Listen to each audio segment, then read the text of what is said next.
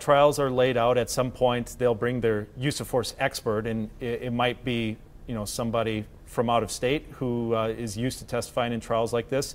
And it, it's slightly there, there's kind of a different dynamic when they're asking these questions to somebody who's uh, a member of the Minneapolis Police Department or was at the time. Um, can you kind of ex- explain to our viewers, like you know, the different dynamics and the questions that are asked and the information that each of those types of witnesses will give? Sure. Well, you know, eh, these experts come in because the police use of force policies are different than what normal civilians are allowed to do uh, out on the streets. Uh, and police are obviously, in the course of their job, allowed to use physical force Okay. and And, uh, violence. and Brock, sorry to interrupt, but we're going to send it right to court now that we see the judge. All right, let's go to court right now. Good morning, Your Honor. Thank you. Before I call the state's next witness, I'd like to offer uh, two exhibits into the record that were uh, published yesterday, Exhibits 75 and 267. Those are received. Thank you, Your Honor. The state calls Jon Edwards.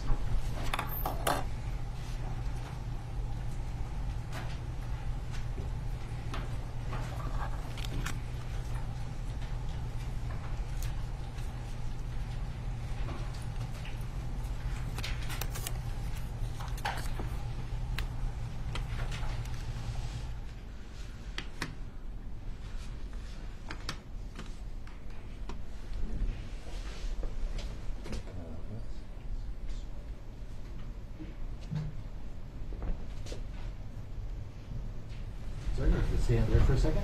Raise your right hand.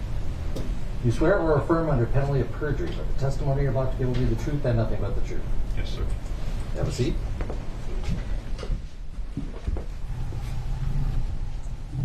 And if you wouldn't mind, we have been having witnesses remove their masks. We'd- If you're comfortable with that, we prefer that so we can hear you a little better. Absolutely. And if you could pull up a little bit to the microphone Right. and start by stating your full name, spelling each of your names. My name is Jon Curtis Edwards. Uh, J O N C U R T I S E D W A R D S. Mr. Thank you, Stishek. Your Honor. Good morning, sir. Good morning. Would you please uh, tell the jury your occupation? Minneapolis Police Sergeant. How long have you held that position? 2007, so approximately 14 years. Uh, not as a sergeant, but as a police officer for 14 years? Yes, sir. All right. So you started as a police officer in 2007. Did you start with the Minneapolis Police Department?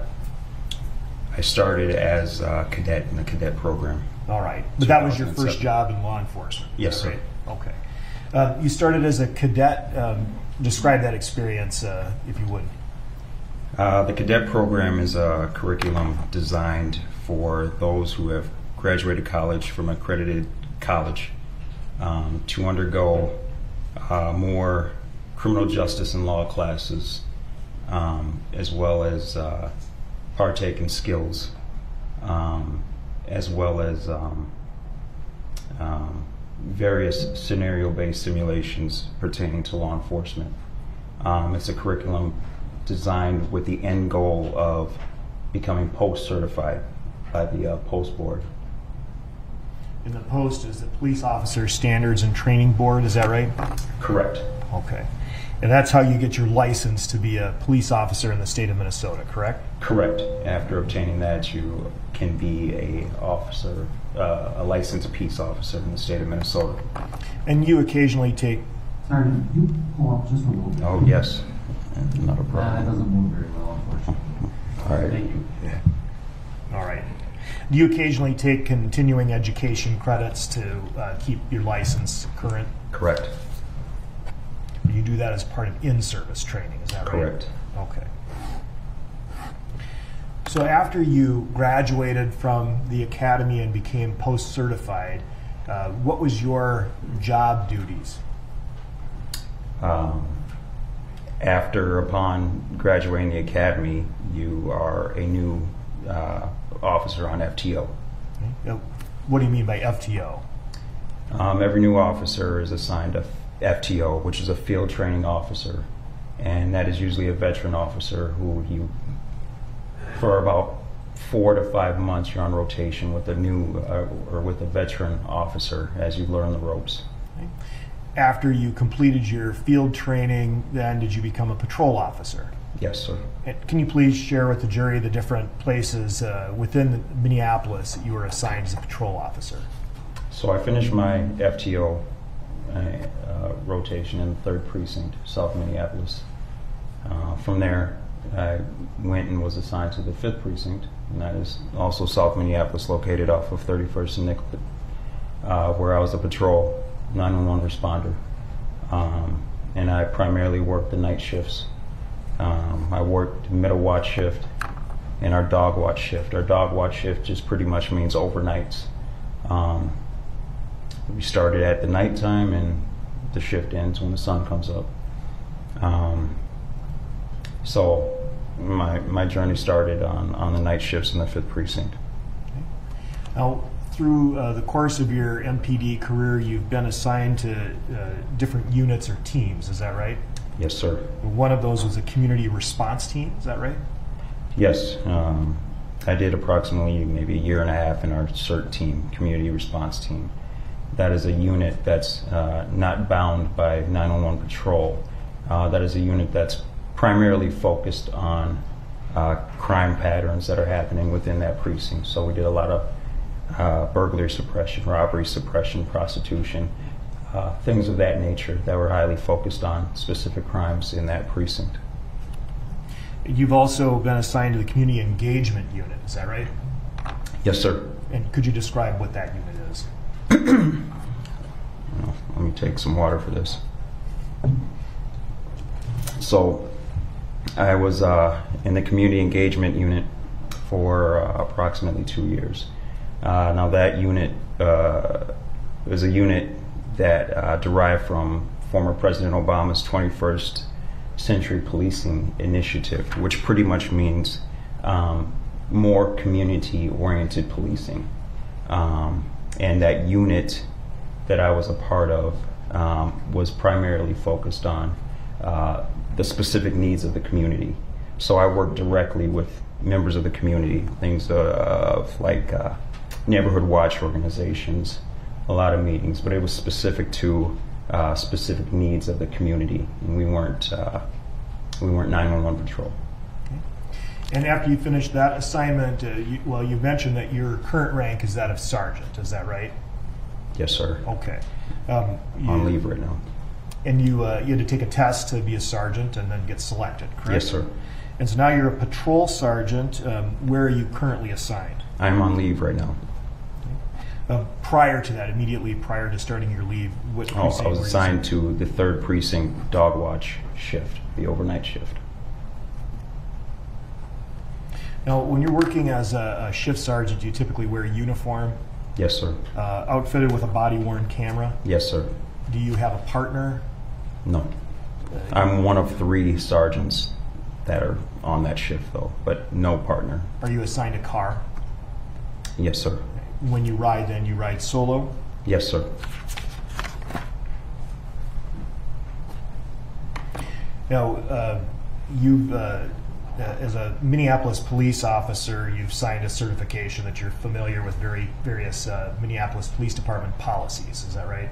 Yes, sir. And uh, as part of that, in, in addition to all of the policies that have been introduced, we're just going to focus on that of a critical incident response. All right.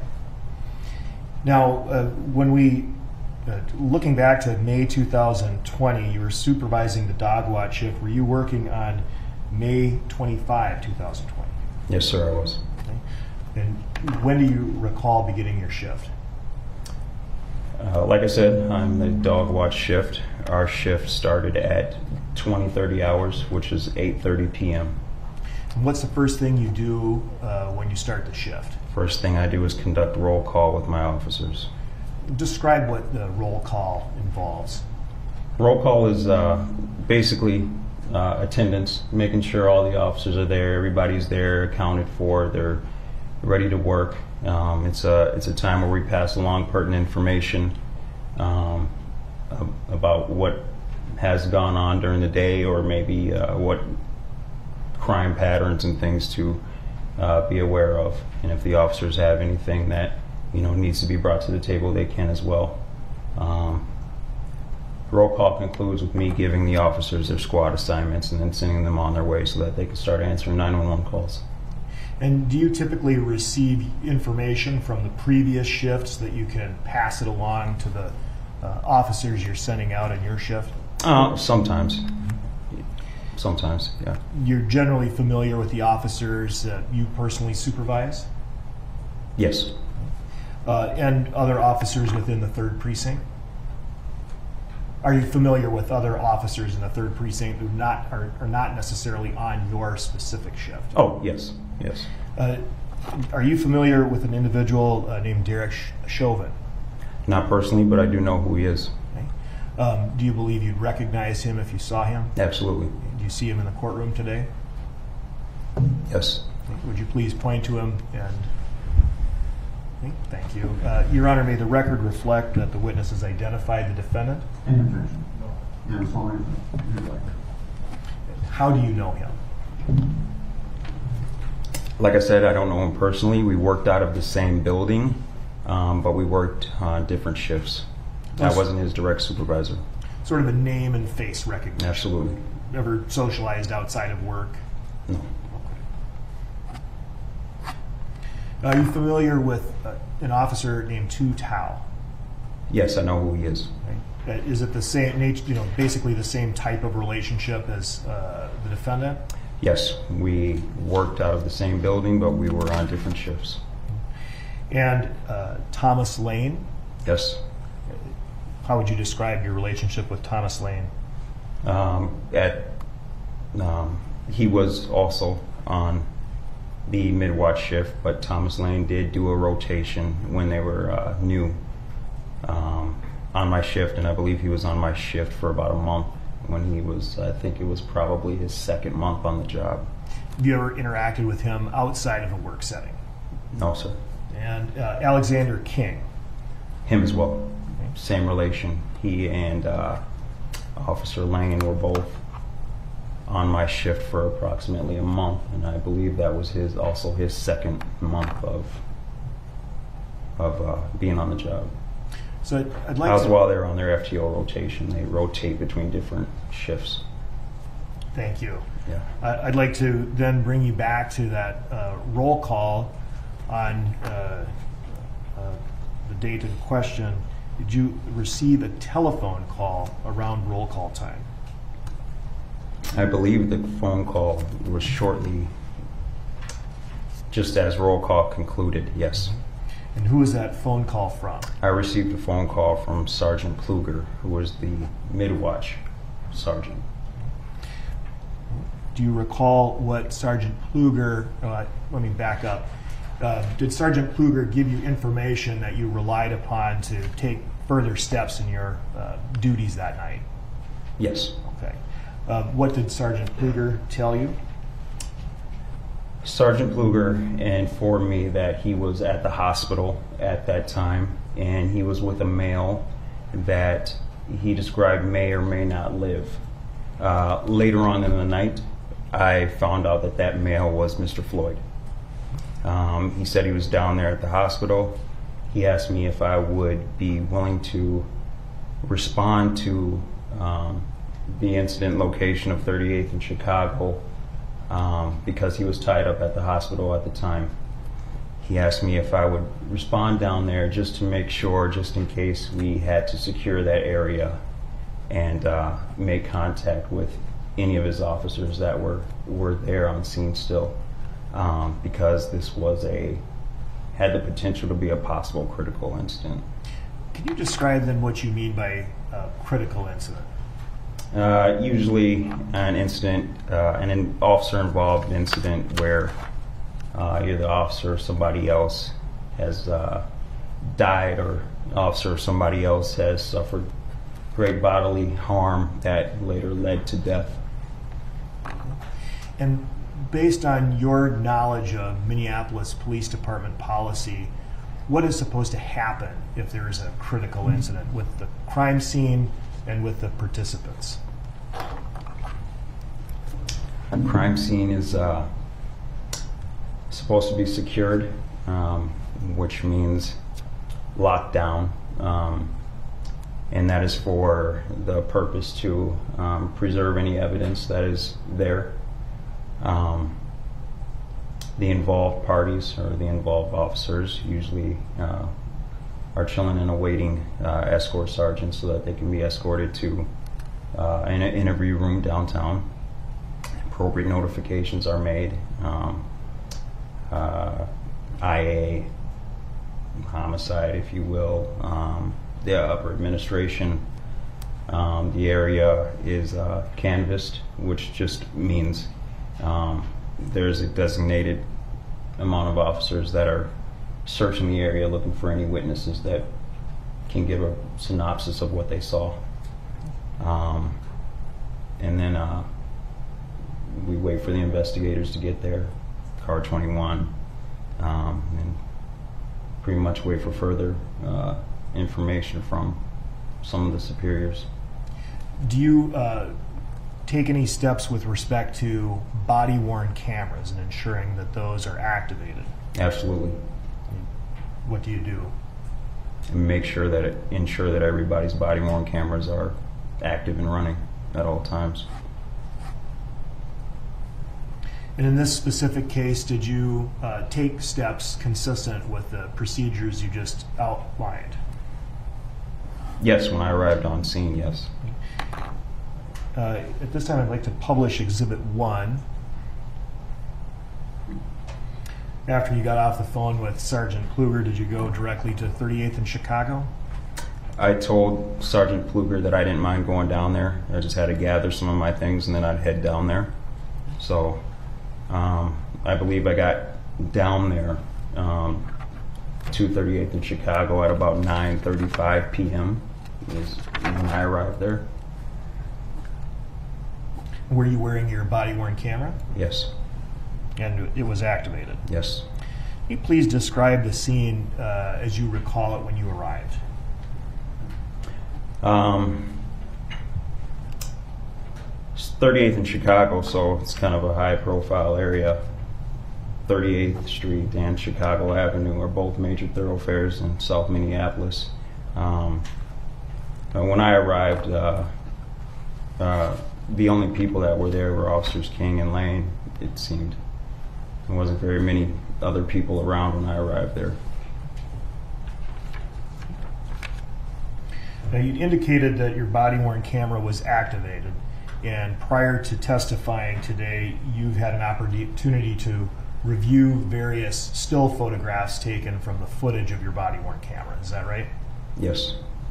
And uh, at this time, Your Honor, I'm going to offer exhibits 81 through 95, which are images taken from Sergeant Edwards' body worn camera. Any objection? 81 through 95 inclusive are received.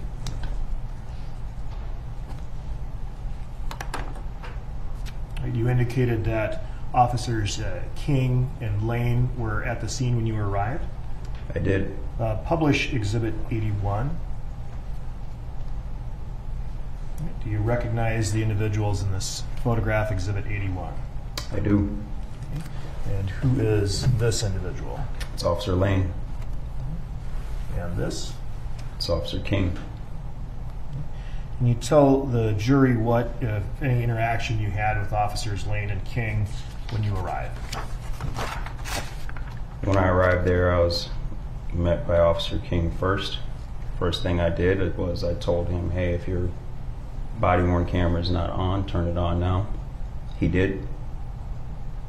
Um, Officer Lane came out of the car several seconds afterwards, told the same thing to him, and he activated his body worn camera. All right, so uh, Lane was initially sitting in the car. Yes, sir. Uh, do you know what car? His squad car, the one that's pictured right there. Is that 320? Sure. Is that a squad car assigned to that sector within uh, the third precinct? Yeah, that's a middle watch squad.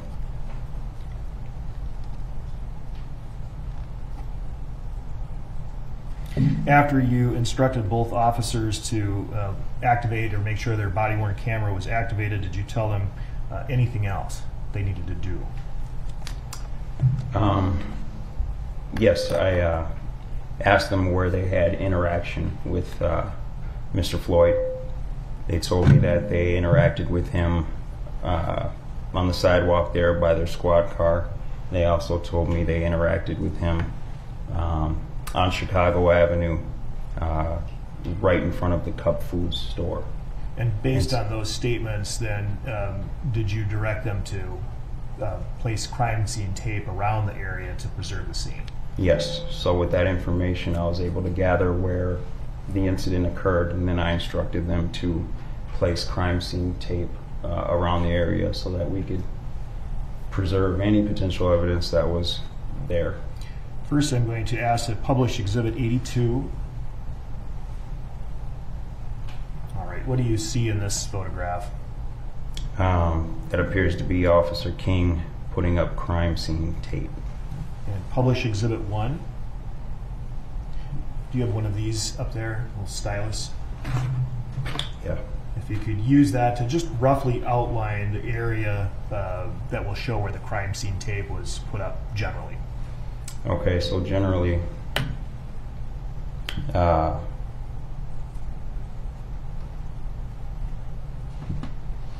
their squad was right here at the time. This is different.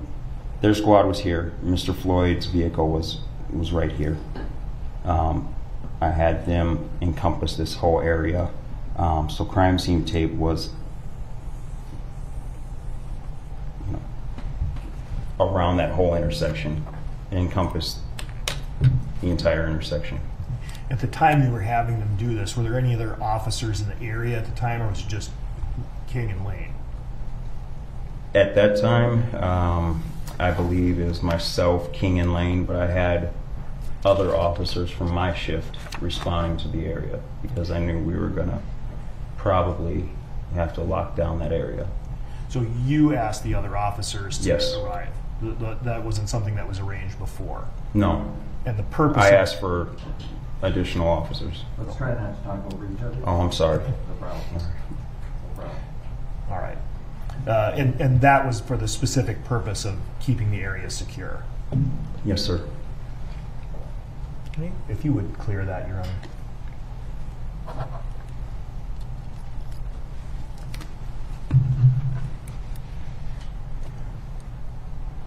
And at some point, did you learn uh, that this in fact was a critical incident? Uh, later on in the night, yes. But you were taking steps to uh, secure the scene as if it were going to be a critical incident before that. Yes, sir. So at this point, did you really know anything about what had happened that caused you to be called out there specifically? No, I didn't. I didn't know specifics. Um, no, at that point, I very little specifics. For example, I was waiting for more phone calls from uh, Sergeant Pleoger for more direction of what was going on.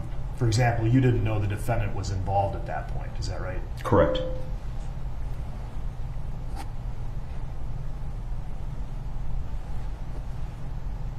Um, you had a brief interaction and conversation with Kueng and Lane. Is that right?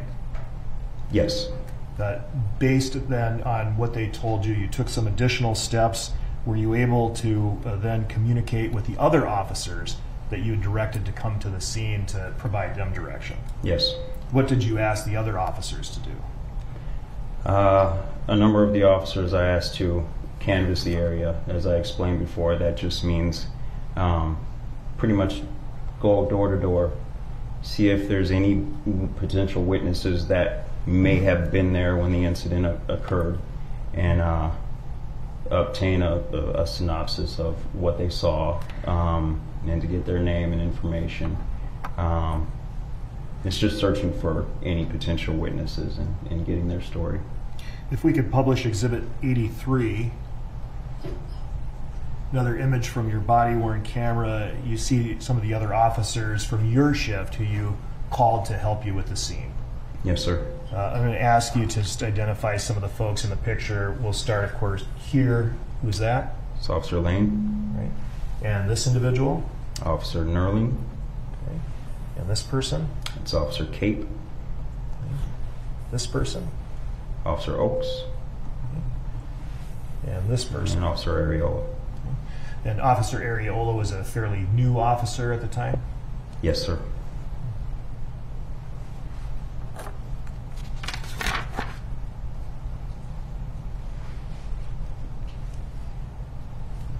Now, would you uh, please tell the jury just sort of the scope of the security you provided to this scene uh, at that time during these early, it was the early morning hours now of uh, May 26th, is that right?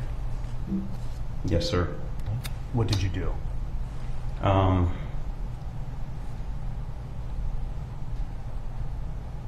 I shortly thereafter here, I received a call from Pleoger telling me that escort officers or escort sergeants would be coming down, and that um, he was still downtown or at the hospital. I had been notified, and uh, appropriate people in administration had been notified, and um, he just requested that the scene just remained secure. So, in answer to your question, we, uh, uh, my guys and I just remained there for scene security to uh, ensure that no vehicle or pedestrian traffic entered the crime scene and contaminated our, our scene. You made sure no one came in to that roped off area. Yes. Did you take any steps with respect to the business cup foods? Yes. What did you do? Uh, Sergeant Pleoger asked me if I was able to make contact with the manager, and if so, speak with him, which I did. How many officers at any given time were used to secure this scene? Um, I believe that night I only had about maybe eight to ten officers on. Um, and I didn't have every single one of my officers on this scene. So there were still a lot of 911 calls that needed to be attended to. In addition to then securing the perimeter of the scene, did you secure any vehicles within the scene? Yes, sir. And what vehicles did you secure? Uh, officers Kueng and Lane squad, as well as Mr. Floyd's vehicle that was parked ahead of theirs. And could you describe that vehicle, please? I honestly don't remember what kind of vehicle Mr. Floyd was driving. Okay. It was a dark colored vehicle, though, if I remember correctly. Did you keep uh, officers Kueng and Lane out of the squad 320? Yes, I did. And I told them to leave their belongings inside the squad car. Uh, at this time, I'd like to publish Exhibit 84. So, Exhibit 84, then, for the record, is a, a, a photo from your body worn camera taken at uh, 2150 and 17 seconds. Is that right? Yes, And we see uh, both Kueng and Lane in the photo, correct? yes, All right. Uh, and is this where you had the initial interaction with them, where you asked them to get out of the vehicle so you could secure it, that is. and they complied with it? They did. Did you see anyone, uh, including them, take anything out of the vehicle? No, Uh, was the vehicle running or had it been stopped? it was running. What did you do uh, since it was running? I told them to get out of the car. They got out of the car. And did you, uh, uh, at any point, uh, stop the vehicle from running? That wasn't until um, the BCA showed up, and uh, I believe it was Special Agent um, Mike Phil uh, told me that they were going to take custody of the squad and Mr. Floyd's vehicle. We noticed the vehicle, or we noticed the squad car. I'm sorry, was still running, so he instructed me to power it down. Uh, you'd also uh, mentioned something about a canvas. Did you, at some point, instruct officers to do a canvas of the area for possible witnesses? Yes, that's I explained that. Yes. And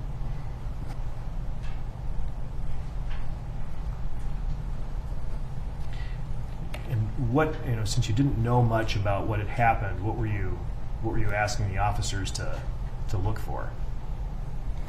You know, anybody that may have been in the area at the time that the incident occurred. Uh, you know, we knew that the incident occurred before we got to work, so. Um, you know, I guess we were just trying to get lucky. Maybe there was somebody still there um, that was willing to talk to us, or, or, um, yeah, Who did you send out to do the canvas? Was it, uh, several officers. did that include uh, Areola and Nerling? Yes, it did. They locate any witnesses who are willing to speak with you? What was that? Did they locate any witnesses who are willing to speak with you? Who were willing to speak with me? Yes. No. Did you at uh, any point interact with an elderly or an older gentleman? I won't say elderly, older gentleman at, at the scene. Yes. Uh, did he identify himself to you, uh, first or last name? He identified himself to me as as Charles. He refused to give me his name, his full name. Uh, published Exhibit 87. This is another body worn camera image, uh, not from your body worn camera, but it shows uh, who is this? That's me. And is this uh, Charles? Yes, sir. And this point captures the conversation that you had with him at 2205 and about 43 seconds. Is that right?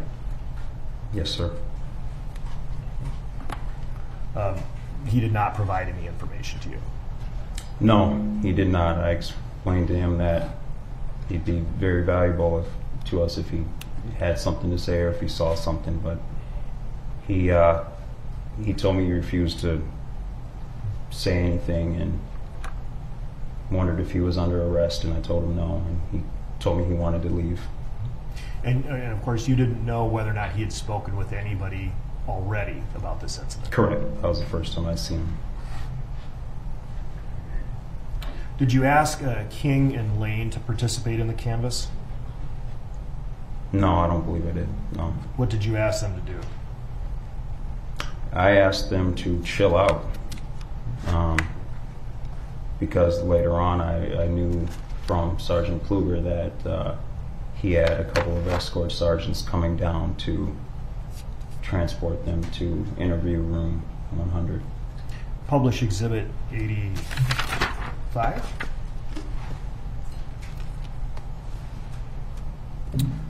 All right, looking at Exhibit 85 from your body worn camera at 215125, uh, you see uh, officers Lane and Kueng.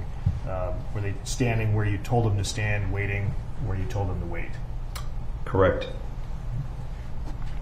And at this time, you instructed them to keep their body worn cameras activated. Is that right? Correct. Do you recall speaking with any other potential witnesses uh, while you were at the scene? No, I don't. Do you recall entering Cup Foods? Yes. Yes. Speak with anybody at Cup Foods. Yes. Um, like I said before, uh, Sergeant Pleoger asked me to see if I could make contact with the manager there at, at Cup Foods, and I did, and I spoke with him. Publish Exhibit 86. All right, this is an image from your body worn camera at 21:54 and 32 seconds. Uh, who is that individual? I do not remember his name, but he is the manager there at Cup Foods.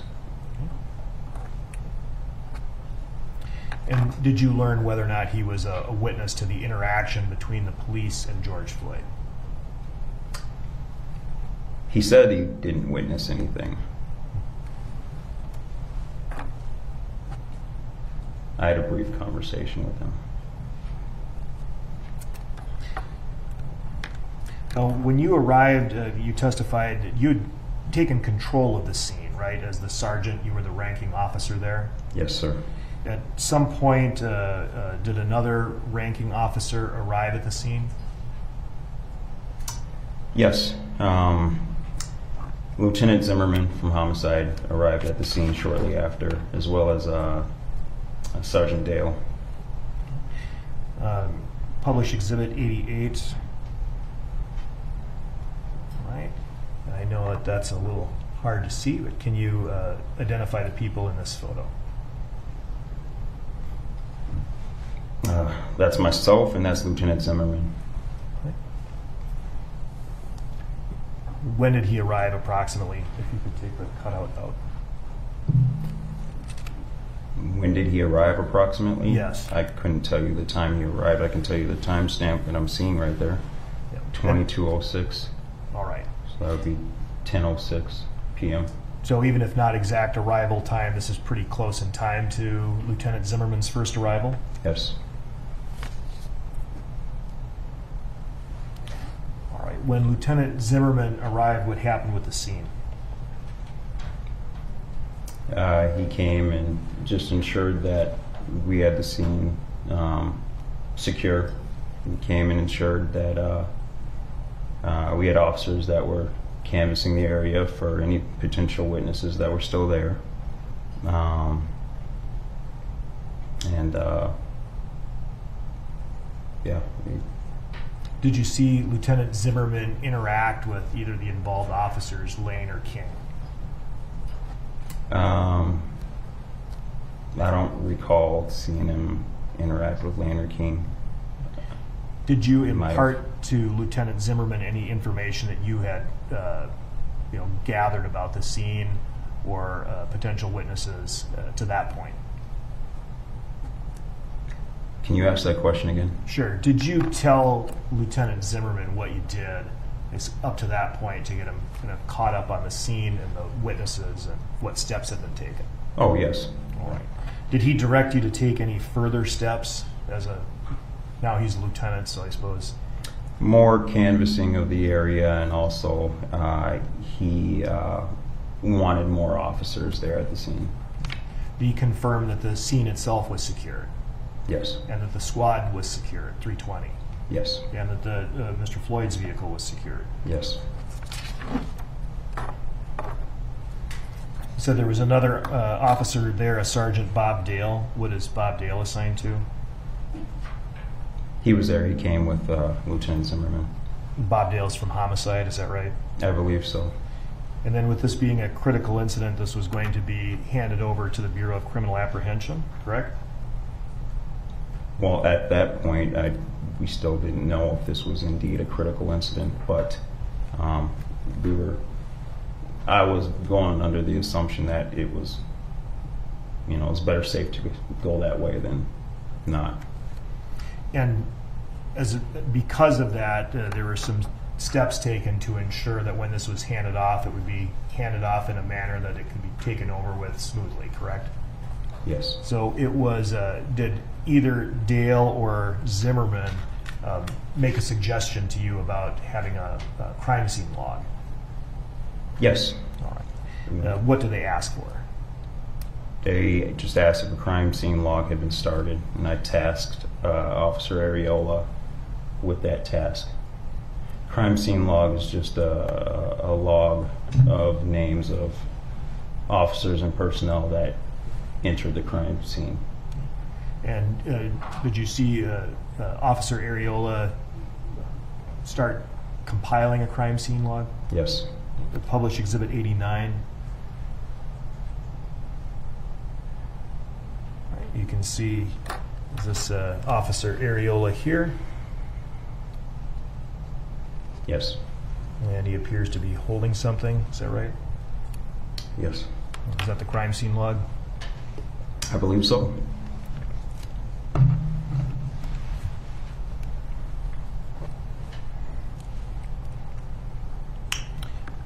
So, at, as you testified, at some point you learned that Mr. Floyd had died, correct?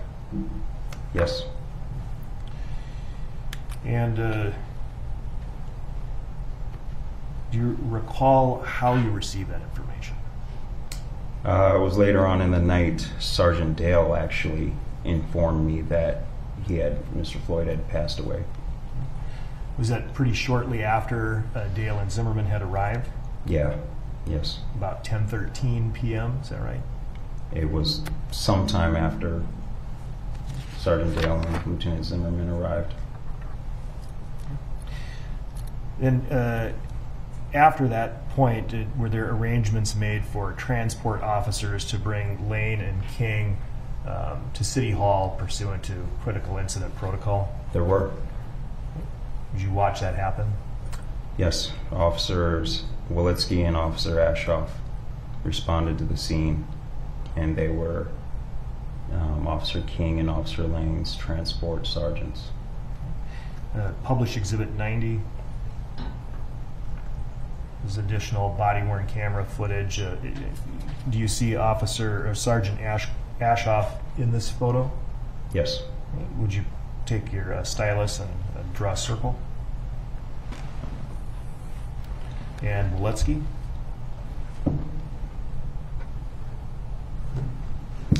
I don't see Walitsky in this photo. Was this a, so according to the timestamp, uh, 221814, is that right? Correct. Okay. Uh, and that was around the time that the transport officers arrived, and I'm assuming the transport would have happened fairly shortly after that. Correct.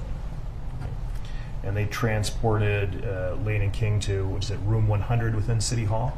Room 100. And it was it about, uh, shortly after that, about 15 minutes or so later, that the BCA took over the scene?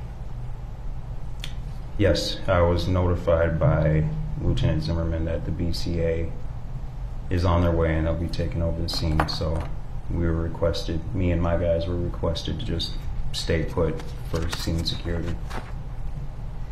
Uh, do you recall when uh, the BCA arrived? I don't remember what time they arrived. No. uh, show you uh, uh, Exhibit 91. Do you remember the name of the agent who was involved? Uh, yes, I believe his name was uh, a Special Agent Michael Phil. Can you uh, tell the jury what you see here in Exhibit 91? Who are those Um, people? That appears to be Special Agent Michael Phil standing alongside Lieutenant Zimmerman. right here. Yes, that's at uh, 2300. Is that right? correct. That's a, the approximate time then that the BCA took over the scene. Approximately. You saw uh, Special Agent Phil have a conversation with Lieutenant Zimmerman. After that conversation took place, did you have a conversation with Lieutenant Zimmerman?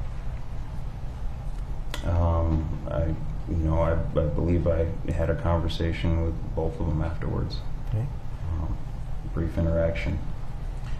When did uh, Lieutenant did Lieutenant Zimmerman remain at the scene after the BCA took over, or did he leave?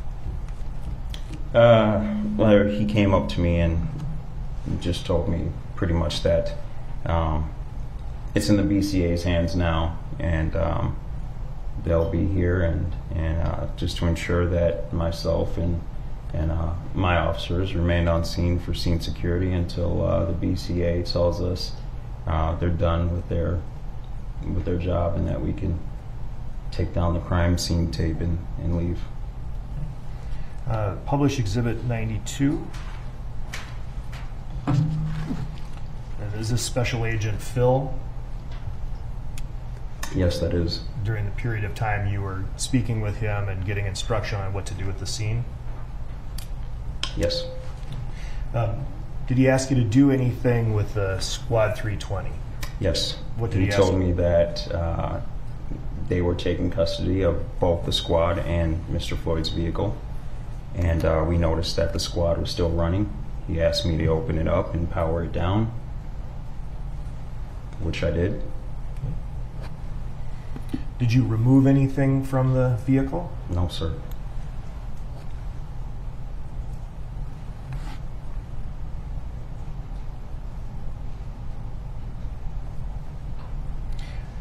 Now, at this point, the BCA has the scene, and you're no longer taking any investigative steps or collecting evidence. Is that right?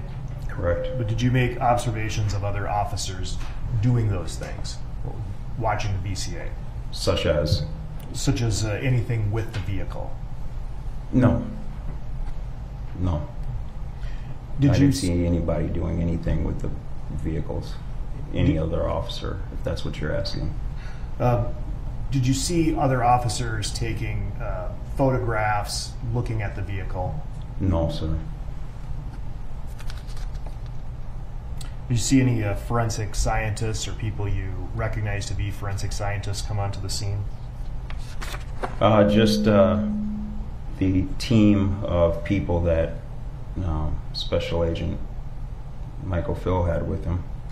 And those There were several BCA people there. Those were the folks who were allowed in the scene. Is that right? Yes. At some point, uh, did you watch uh, the uh, uh, Mr. Floyd's vehicle be actually towed away by the BCA?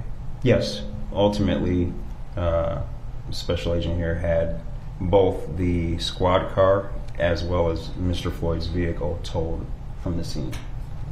And you watched them do that. Yes, I was still on scene then. Publish Exhibit 94.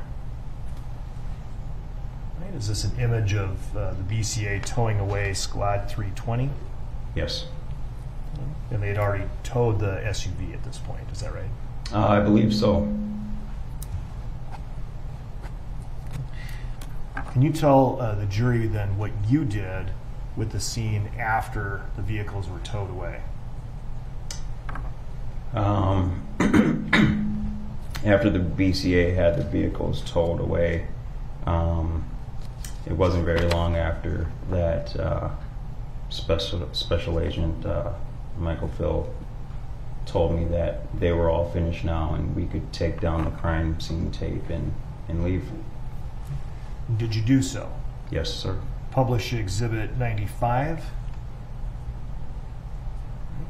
This is at 3:34 and 54 seconds. What is this? What does this image show? That's at 3:34 a.m. and that's me. Um, those are my hands helping take down the crime scene tape. And so at this point, then the crime scene was clear, no longer needed to be secured, and you would be able to uh, exit the area. Is that right? Correct. All right. Thank you very much. I have no further questions, Your Honor. You may. I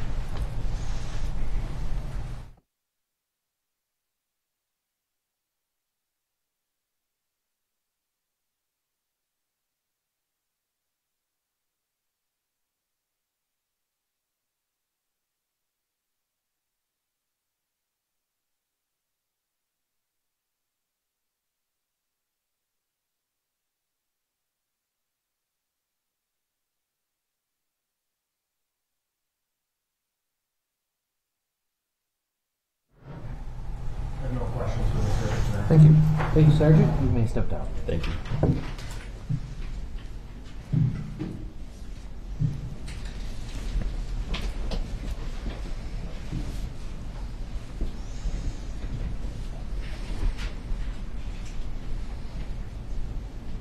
right.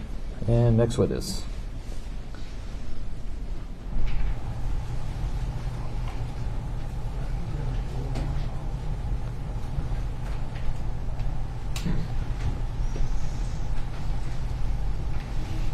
State would call Lieutenant Zimmerman to the stand.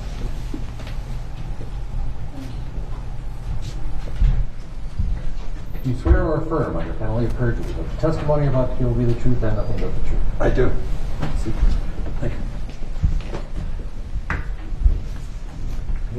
Uh, Lieutenant, if you could give us your full name, spelling each of your names to start off with. I'm sorry. Uh, your full name, spelling each of your names. Okay. It's, And also, if you could remove your mask. okay, thank you. Um, it's Richard Zimmerman, uh, R I C H A R D, and then Zimmerman, Z I M M E R M A N. Mr. Frank. Thank you. Can you please tell the jurors what you do for a living? Um, I'm a police officer with Minneapolis uh, Police Department. How long have you been a police officer? Since June uh, June 3rd of 1981. And all, all that with Minneapolis? No, um, the first four years, uh, from 81 to 85, I worked for the Fillmore County Sheriff's Department in southeast Minnesota. What did you do there? I was a patrol deputy uh, responding to 911 calls. And so then it was, uh, what, 1985 that you started with Minneapolis? Yes, I had the weekend off and started in Minneapolis in uh, June 5th of 1985. And uh, are you a licensed peace officer in the state of Minnesota? Yes, I am. When did you first obtain your license? I'm sorry? When did you first obtain your license? Um, June uh, 3rd of 1981. And uh, as a police officer, having that license, are you required to do certain things to maintain that license? Yes. What do you? What kinds of things do you have to do? Um, we have to do continuing ed, um, like uh, any other professional license, and we have to uh, do 40 hours of, of uh, uh, different education, uh, professional education, um, in a certain time period. I'm not sure if it's one or two years. And and if you don't, somebody's going to let you know, right? Yes, they will. And so, since 1981, have you done all that's been required to maintain your license? Yes, I have.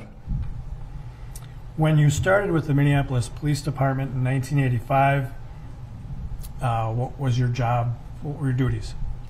Um, I was a patrolman. Um, I worked the North Side Precinct. It's uh, called Precinct 4. And I worked the third precinct. Um, it's called Precinct 3, of course. And then my permanent assignment was uh, the fifth precinct, uh, which is um, like Franklin, Nicollet, um uh, Hennepin Avenue, uh, Lake Street. So, when you're working you know, as a patrol officer, what kind of things do you do? Yeah, well, we respond to 911 calls. Um, we, uh, um, you know, uh, deter crime, or try to deter crime, I should say. Um, and uh, uh, yeah, that's kind of what we do. Uh, traffic control, that kind of thing. You're out on the streets every day, Yes. or at least every day you work, right? Yes. And so then, uh, did your job duties change eventually? Yes, in uh, 1990, I, um, um, crack became really uh, prevalent in the late 80s, and so I joined the crack team um, in the 5th Precinct where there were four officers and a sergeant, and we would, um, uh, you know, do search warrants, uh, looking for drugs, that kind of thing. And uh, so, what year was that? I'm sorry. Pardon me? What year was that? Uh, 1990 to 1993. And uh, what did you do then in 1993? Um, I took the uh, sergeant's exam and passed it, and um, was uh, assigned to the adult sex crimes unit. And so, what does it mean to be promoted to sergeant? Um, well, you you um, take a series of tests, and once you're promoted, um, you express your interest as patrol or uh, investigations. And um, so I uh, talked to the lieutenant uh, in charge of uh, the sex crimes unit and expressed my interest. So, you mentioned having to take an exam, Yes. just like sitting down and, like we do in school, taking an exam. Yeah, it was a, um, a written exam, and um, once you pass that phase, then you would take uh, uh, an oral uh, exam, and uh, then you were given your scores. And so, you became a sergeant. Did some supervisory responsibilities come with that? Yes. Can you just describe for the jurors, like, what supervisory, what kinds of responsibilities a sergeant takes on?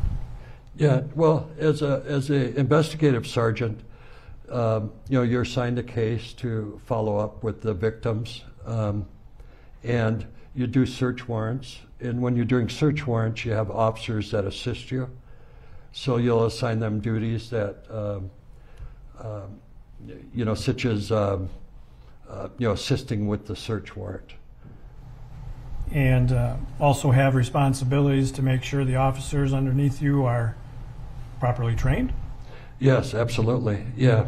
And, uh, you know, I, when I would do search warrants, I would uh, explain to the officers that uh, we don't want anyone uh, to, um, uh, to get hurt, either the officers or the subjects.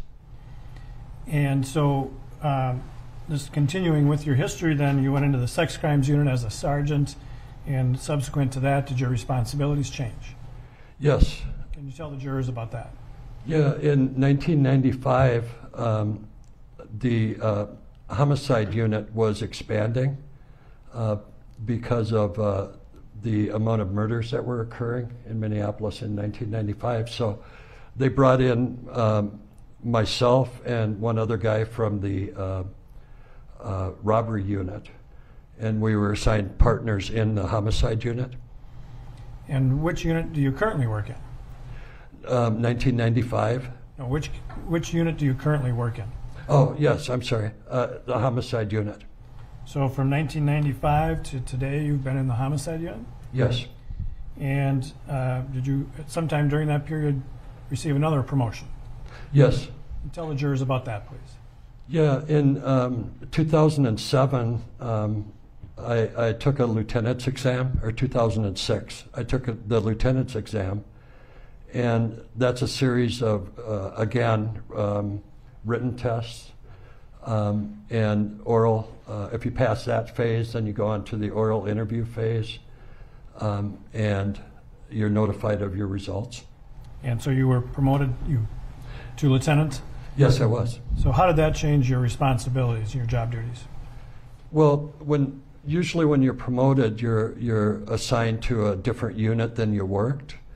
Um, but they asked me to stay in the homicide unit uh, because of my experience, um, and so I uh, took over the job in uh, 2008, November of 2008.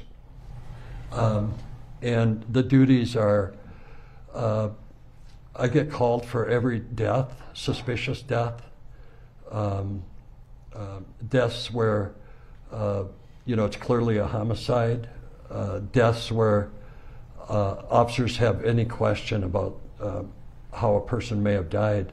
Uh, I go out to the scenes. And do you also supervise other officers? Yes, I do. Just describe for the jury, you know, your responsibilities in supervising other officers. Yes, we we have uh, right now we have 12 detectives in homicide uh, that make up six teams. They work with a partner in homicide, and um, uh, they're on a rotation basis for being on call. They're on call Monday through Monday, and um, when a team is on call, um, I'll go out to a scene, uh, assess, uh, you know, what the death may be uh, involved, and I'll call the on-call team to come in and uh, start working the case. So you still respond to scenes, Yes, uh, but you also supervise the work of, of the investigators. yes. I, I uh, every morning when I come in, I uh, um, I'll pull up. It's called pulling up the cases, and we um, we pull up every death report in Minneapolis, and um, um, I'll look through each report, and I'll assign a case that mm, I might have some questions about, and I'll uh, talk to the detectives, explain why I think this needs to be looked into, and um, that's a Monday through Friday kind of thing. And so are you their direct supervisor then? Yes. So you started with Minneapolis Police Department in 1985. Yes. Do you know where you are in terms of seniority in the Minneapolis Police Department? Yes. Where is that? Um, I'm the number one uh, officer in seniority. Um, I hate to say that, but I am. Understood. Um, were you called out to a scene on May 25th of 2020? yes. And do you recall, um, well, why you were called to that scene? Um, yeah, homicide responds, or uh, the I respond initially to critical incidents, um, and a critical incident can be anything from um, a death to a uh, um, serious injury of either officers or the public, um, and so I was called in on this one. So were you technically on duty at that time? Um, I was at home and I was notified by my commander uh, of this incident that happened at 38th in Chicago. And uh, so then, then did you respond to that scene? Yes, Do you recall about what time it was that you arrived at the scene? Um, it was a little bit after 9 p.m. And uh, the location of 38th in Chicago, are you familiar, were you familiar with that location at that time? Yes. Fair to say, no s- stranger to calls of violent incidents at that intersection? Yes, absolutely. And when you arrived, um, can you just describe for the jury what you first saw when you arrived at that location? Um, I arrived on 38th Street and I parked on the southwest corner on 38th Street. Um, I saw uh, yellow tape up, we call it, it's crime scene tape, um, around the intersection. Um, I saw um, Sergeant Edwards, who I know from uh, work, um, on his cell phone. Um, and I saw two officers, and he was like in the middle of the scene, kind of. And then I saw two officers standing on the southwest or the southeast corner of the intersection. And did you then uh, approach those two officers? Yes, I, uh, Sergeant Edwards appeared to be busy on the phone, so I just walked up to the two officers. And I'm going to show you, well, we had an opportunity before court to show you a, a piece of body cam footage shows you approaching the scene, correct? Yes. And that appeared to be a true and accurate representation of your approach to those two officers. Yes, it is. And that reflects the time as well. Yes. Your Honor, I would offer Exhibit 96. Any objection?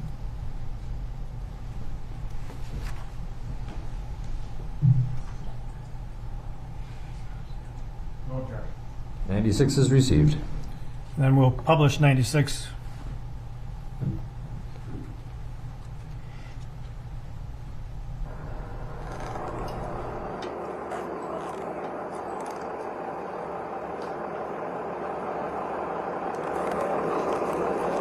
Pause here just for a moment if I could. Um, This is the intersection of 38th and Chicago, Yes. and it looks like the time reflected here is 2156. Yes. So for those of us who have difficulty with that kind of math even, what, what is the real time that we would Yeah, call? yeah. It's uh, four minutes to 10. Okay. So it was a little closer to 10 when you arrived? Yes. And there is an individual, I know it's dark and it's kind of hard to see, but do you know who the individual is in the crosswalk there? Um, I, I don't know. Okay. And all right, let's continue.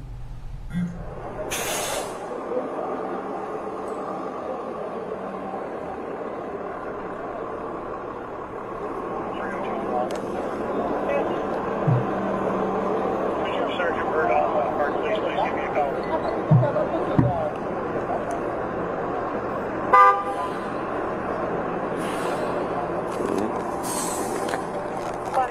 There's the rain.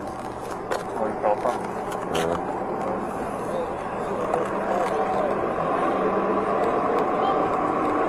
I'm going to stop right here, if you could, please. And uh, just for the record, at 215653, you see across the intersection there appears to be a person walking towards us.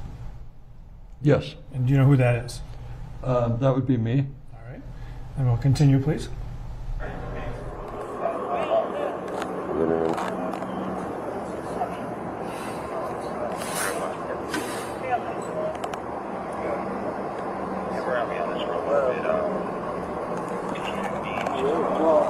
I'll give these call back for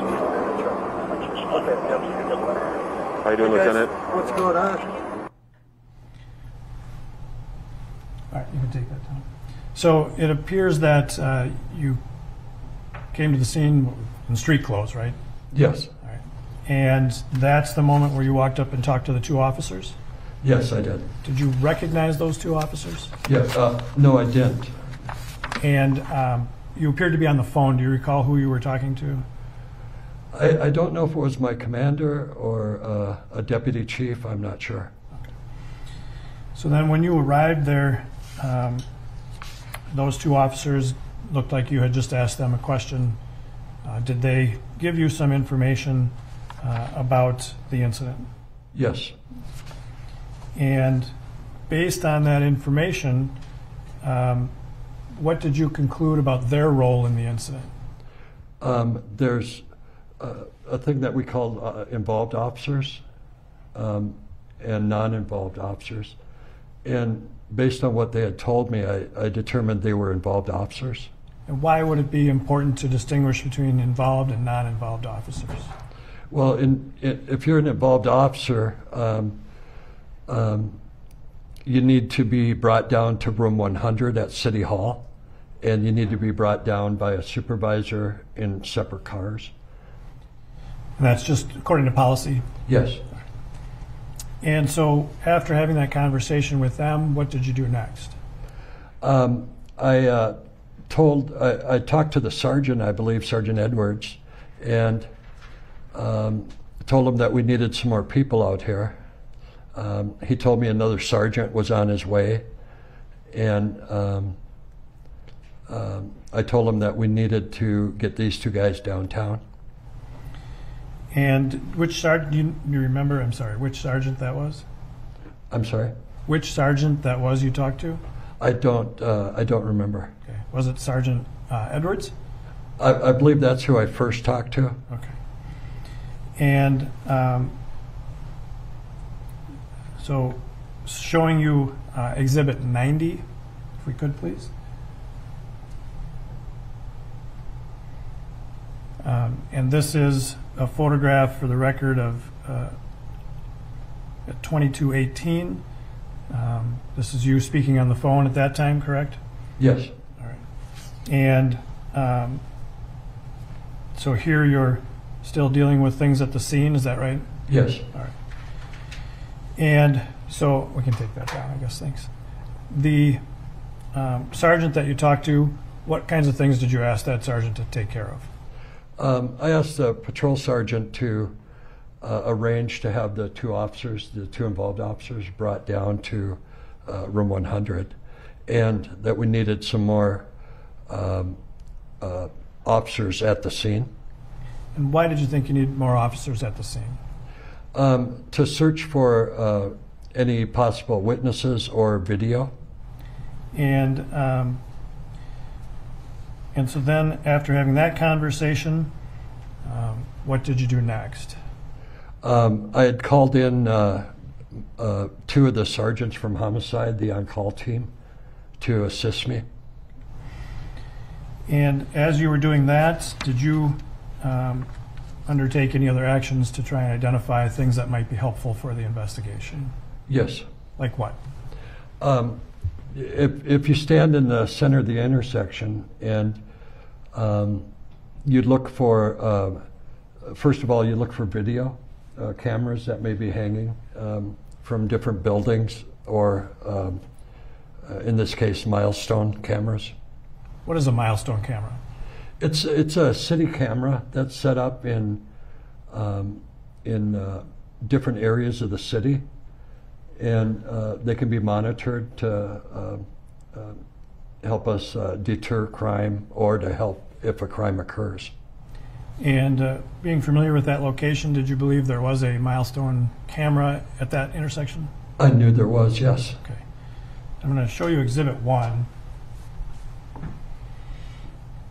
You recognize what's in that photograph? Yes, And uh, what is that?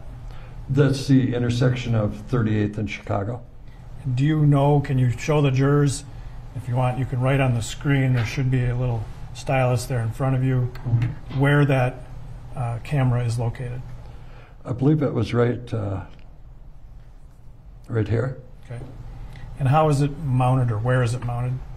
Um, uh, you know, I'm not sure if it's light, uh, on a light pole um, or under a light pole, uh, but it's uh, um, mounted up high.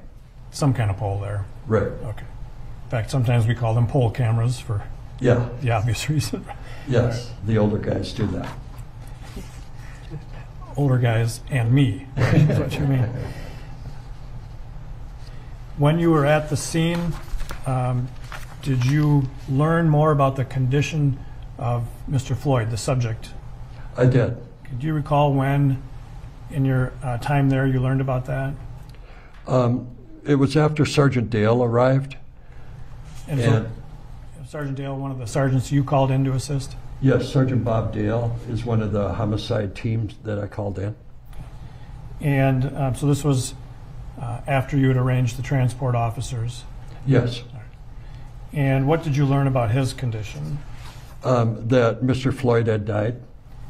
And were some decisions made about what would become of this investigation based on in- information? And what was decided? Um, that the BCA would be in charge of the investigation, the State Bureau of Criminal Apprehension.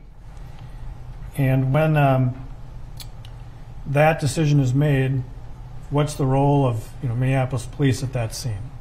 Um, well, first, it's, it's to support the BCA investigative team with whatever they might need um, that night. Um, and also, it's to secure any witnesses that we may find um, to see if they would be willing to talk to the BCA. Um, also, it's uh, when you're at a scene, uh, trying to locate any video cameras again and uh, uh, filling in the BCA agents that arrive.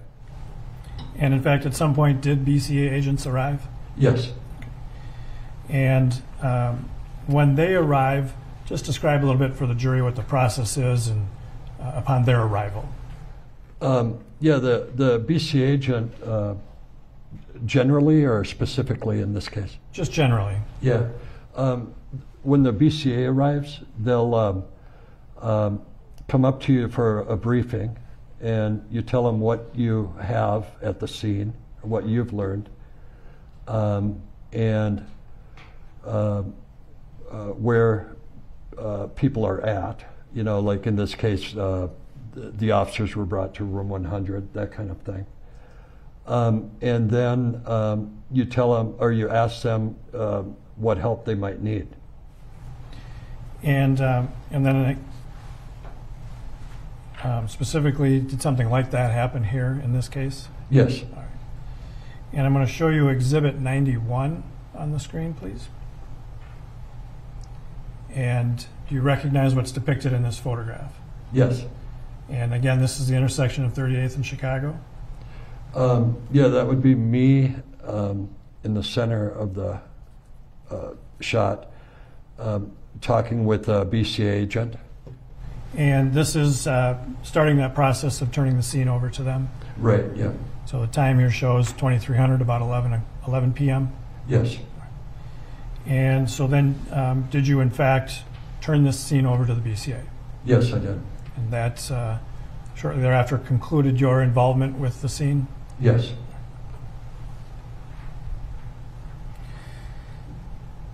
You talked earlier about uh, the training you need to do to maintain your peace officer's license, correct? Yes. And as a Minneapolis police officer, you know, where do you get that training from? Um, well, we'll get it from um, our training um, unit. Um, we'll also get it from outside sources, uh, uh, you know, different schools that are being put on, um, some that are specific to homicide, uh, some that are, uh, um, uh, you know, uh, a one day course, some may be a two week course, that kind of thing. Does that training uh, include instruction on the use of force? Yes. And how often do you get instruction on the use of force? Uh, once a year. And how many officers have to go through that use of force training every year? Uh, every officer on the police department. That includes the guy who's number one in seniority? It includes me, yes, absolutely. And when you, um, well, let me ask it this way. Are there also Minneapolis Police Department policies about the use of force? Yes, there is. And are you required to be familiar with those policies? Yes, you are. And when you do that use of force training, does it cover um, the policies as well? Yes. Do you also do some physical activity, taking people down and rolling around? Yes, we, we uh, have a mat that we use at our SOC center, and um, it's uh, um, like a huge wrestling mat. And um, are you familiar with the use of force continuum? Yes. Is that part of the Minneapolis Police Department use of force policy? Yes, it is. Can you just describe in general what that means to the jurors?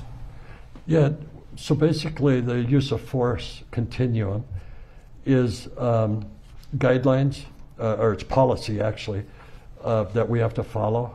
And it's um, when, uh, for instance, when you arrive at a scene, no matter what the scene, um, the first level, the lowest level, would be just your presence at a scene uh, in uniform. Um, the next uh, step up uh, may be your your uh, verbal um skills that you would that you've learned to di- help diffuse a situation or, or learn information about whatever the situation is. Um, the next step would be like a soft um, soft technique, um, escorting the person by their arm, um, th- that type of thing. The next level would be a hard technique. That's where you would use your, uh, uh, you know, you maybe have to use your mace or uh, handcuffs, um, that kind of thing. And finally, the, the top um, uh, level on the continuum is uh, deadly force. And so those levels change, uh, you know, how, under, under what, or for what reasons might that change? Yeah, well, um, if you're, uh, say you arrive at a scene and somebody's pointing a gun at you or shooting at you, of course you go to the top level, you know. Um, uh, and, and that's how they may change. So it's relative to the threat. Right, yes. And um, are there different kinds of force that officers can use? Yes. And um, have you ever, in all the years you've been working for the Minneapolis Police Department, um, been trained to kneel on the neck of someone who is handcuffed behind their back in a prone position? No, I haven't. Is that, if that were done, would that be considered force? Absolutely. What level of force might that be? That would be the top tier, the deadly force. Why? because of um, the fact that um, if, if your knee is on a person's neck, that can kill them. And in your training with the, with the Minneapolis Police Department uh, over the years, have you received training on restraining people, Yes, uh, including the use of handcuffs? yes. And when you are handcuffing somebody, when you handcuff them, what is your responsibility as an officer with regard to that person? Um, d- d- well, it, could I give you an example? Um, okay. Um, well, let me ask you this uh, um, again. If, if you, as an officer, according to the training, you handcuff somebody behind the back, what's your responsibility with regard to that person from that moment on? Um, that person is yours. Um, he's your responsibility. Uh, his safety is your responsibility. Uh, his well-being and uh, is your responsibility. Once you handcuff somebody, does that affect the amount of force uh, that you should consider using? Absolutely. How so? Um, once a person is cuffed, um, the the threat level goes down all the way. You know, to uh, they're cuffed. How can they really hurt you? You know, um, and uh, Well, certainly there could be cir- circumstances when a cuffed person could still be combative. oh, absolutely, yeah, yeah. But you getting injured is way down. What do you mean by that? Well, you know, if you're, uh, you could have some guy try to kick you or something, um, but you can move out of the way. That person is handcuffed, you know, and they, um, um, the, the threat level is just not there. So by handcuffing somebody, you've taken away some of their ability to harm you. Absolutely. And if somebody who is handcuffed um, becomes less combative, does that change the amount of force that an officer is to use under policy? Yes. How so? Um, well, if, if they become less combative, um, you, uh, you may just have them sit down on a curb. Or um, uh, the idea is to calm the person down.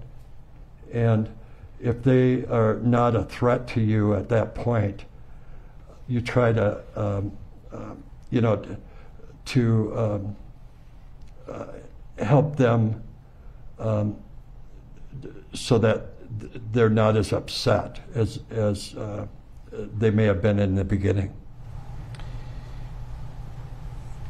In your you know, 30 years of training with the Minneapolis Police Department, and your experience, have you been trained on um, the prone position? Yes. And what has your training been specific to the prone position? Well, once, um, once you secure or handcuff a person, um, you need to get them out of the prone position as soon as possible because it restricts their breathing. When you handcuff somebody behind their back, well, as part of training, have you been handcuffed behind the back? Yes. And have you been trained on what happens to individuals when they're handcuffed behind the back? Yes. So when somebody is handcuffed behind their back, how does it affect them physically? It, it stretches the muscles back through your chest and it makes it more difficult to uh, breathe. If you put somebody in the prone position, well, is it well known this danger of putting somebody in the prone position? Sustained. How long have you had training on the dangers of the prone position as part of a Minneapolis police officer? Um, for um, since I, 1985. And uh, is it part of your training regularly, regularly to learn about uh, keeping somebody in the prone position? Yes. And what has the training been with regard to the prone position? Once a person is cuffed, uh, you need to turn them on their side or have them sit up. Um, you need to get them off their chest. Why? Because of the, uh, as I mentioned earlier, your muscles are pulling back when you're handcuffed. And if you're laying on your chest, that's constricting your breathing even more.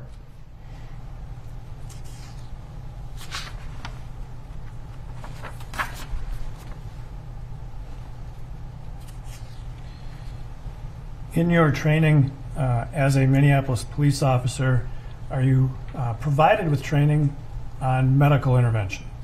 Yes. I assume you're not, you know, taught to be paramedics, but you receive some level of training. Yeah, uh, uh, we're first responders, I think, is what our category would be. Does that include doing what we think of as CPR, chest compressions? Yes. And how often is that part of your training? Um, CPR, uh, it's like every other year or so. And as part of your training within the Minneapolis Police Department policies, uh, is there an obligation to provide medical intervention when necessary? Absolutely. What is the general teaching that you get uh, with regard to medical intervention? Well, again, it, um, it's been that you need to uh, provide uh, medical care for the person that is in distress. And is, would that be true even if you've called an ambulance to come to the scene? Yeah, absolutely. The you know the ambulance will um, get there in whatever amount of time, and in that time period, you need to provide um, um, um, uh, medical uh, assistance um, uh, before they arrive.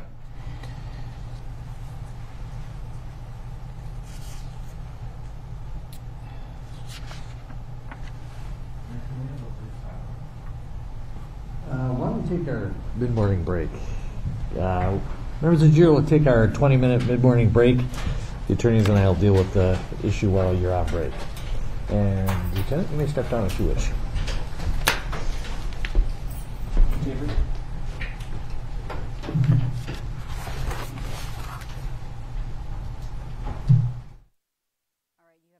Live coverage of the Derek Chauvin trial. And Lou, I want to bring you in right away because we just heard uh, some testimony from Lieutenant Richard Zimmerman. And uh, as we know, Mm-hmm. this was pretty important because he talked about use of force. Yeah, so I mean, th- we have a lot to cover here. Yeah. Fir- first of all, I, I've been telling everyone th- to anticipate when Richard Zimmerman testifies because I've seen these trials, I've seen Minneapolis uh, police officers testify, and he just may be the most effective communicator to a jury uh, for prosecutors to use when it comes to the Minneapolis Police Department.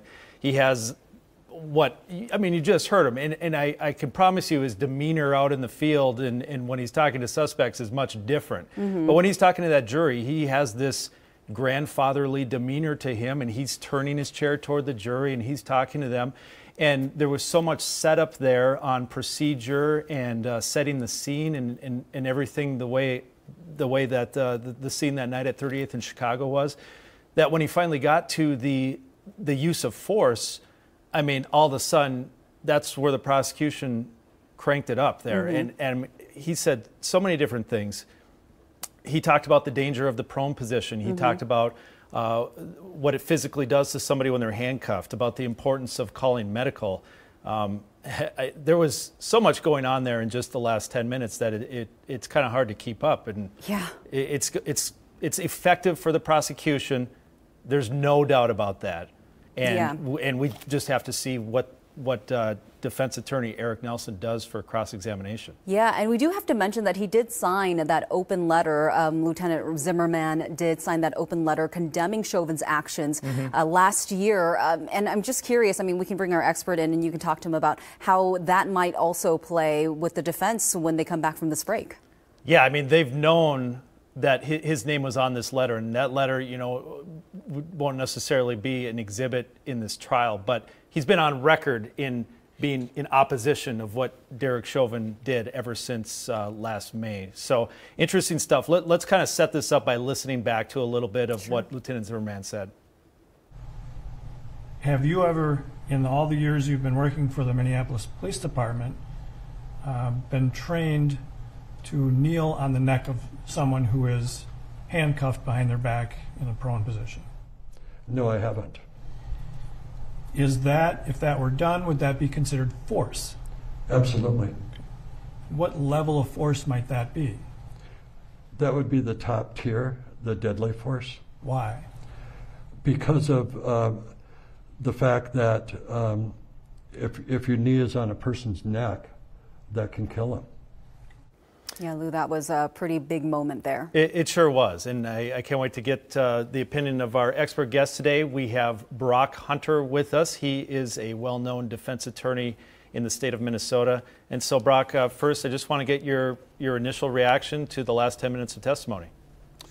Well, I agree, Lou. It was pretty powerful. Uh, and though the judges ruled that the off, Minneapolis police officers testifying in this trial cannot uh, weigh in regarding whether they felt Derek Chauvin's use of force uh, exceeded the limits, uh, we know that his supervisor did get uh, an opinion in yesterday in that regard, indicating that he felt that. Uh, uh, any basis Chauvin had to have his knee on George Floyd's neck ended once he was no longer struggling, once he was handcuffed and face down. Here uh, we have Lieutenant Zimmerman not getting into weighing in with specific opinions on Chauvin's use of force, but certainly laying a powerful foundation uh, that Chauvin's use of force was at the very top tier of what is allowed for use by police.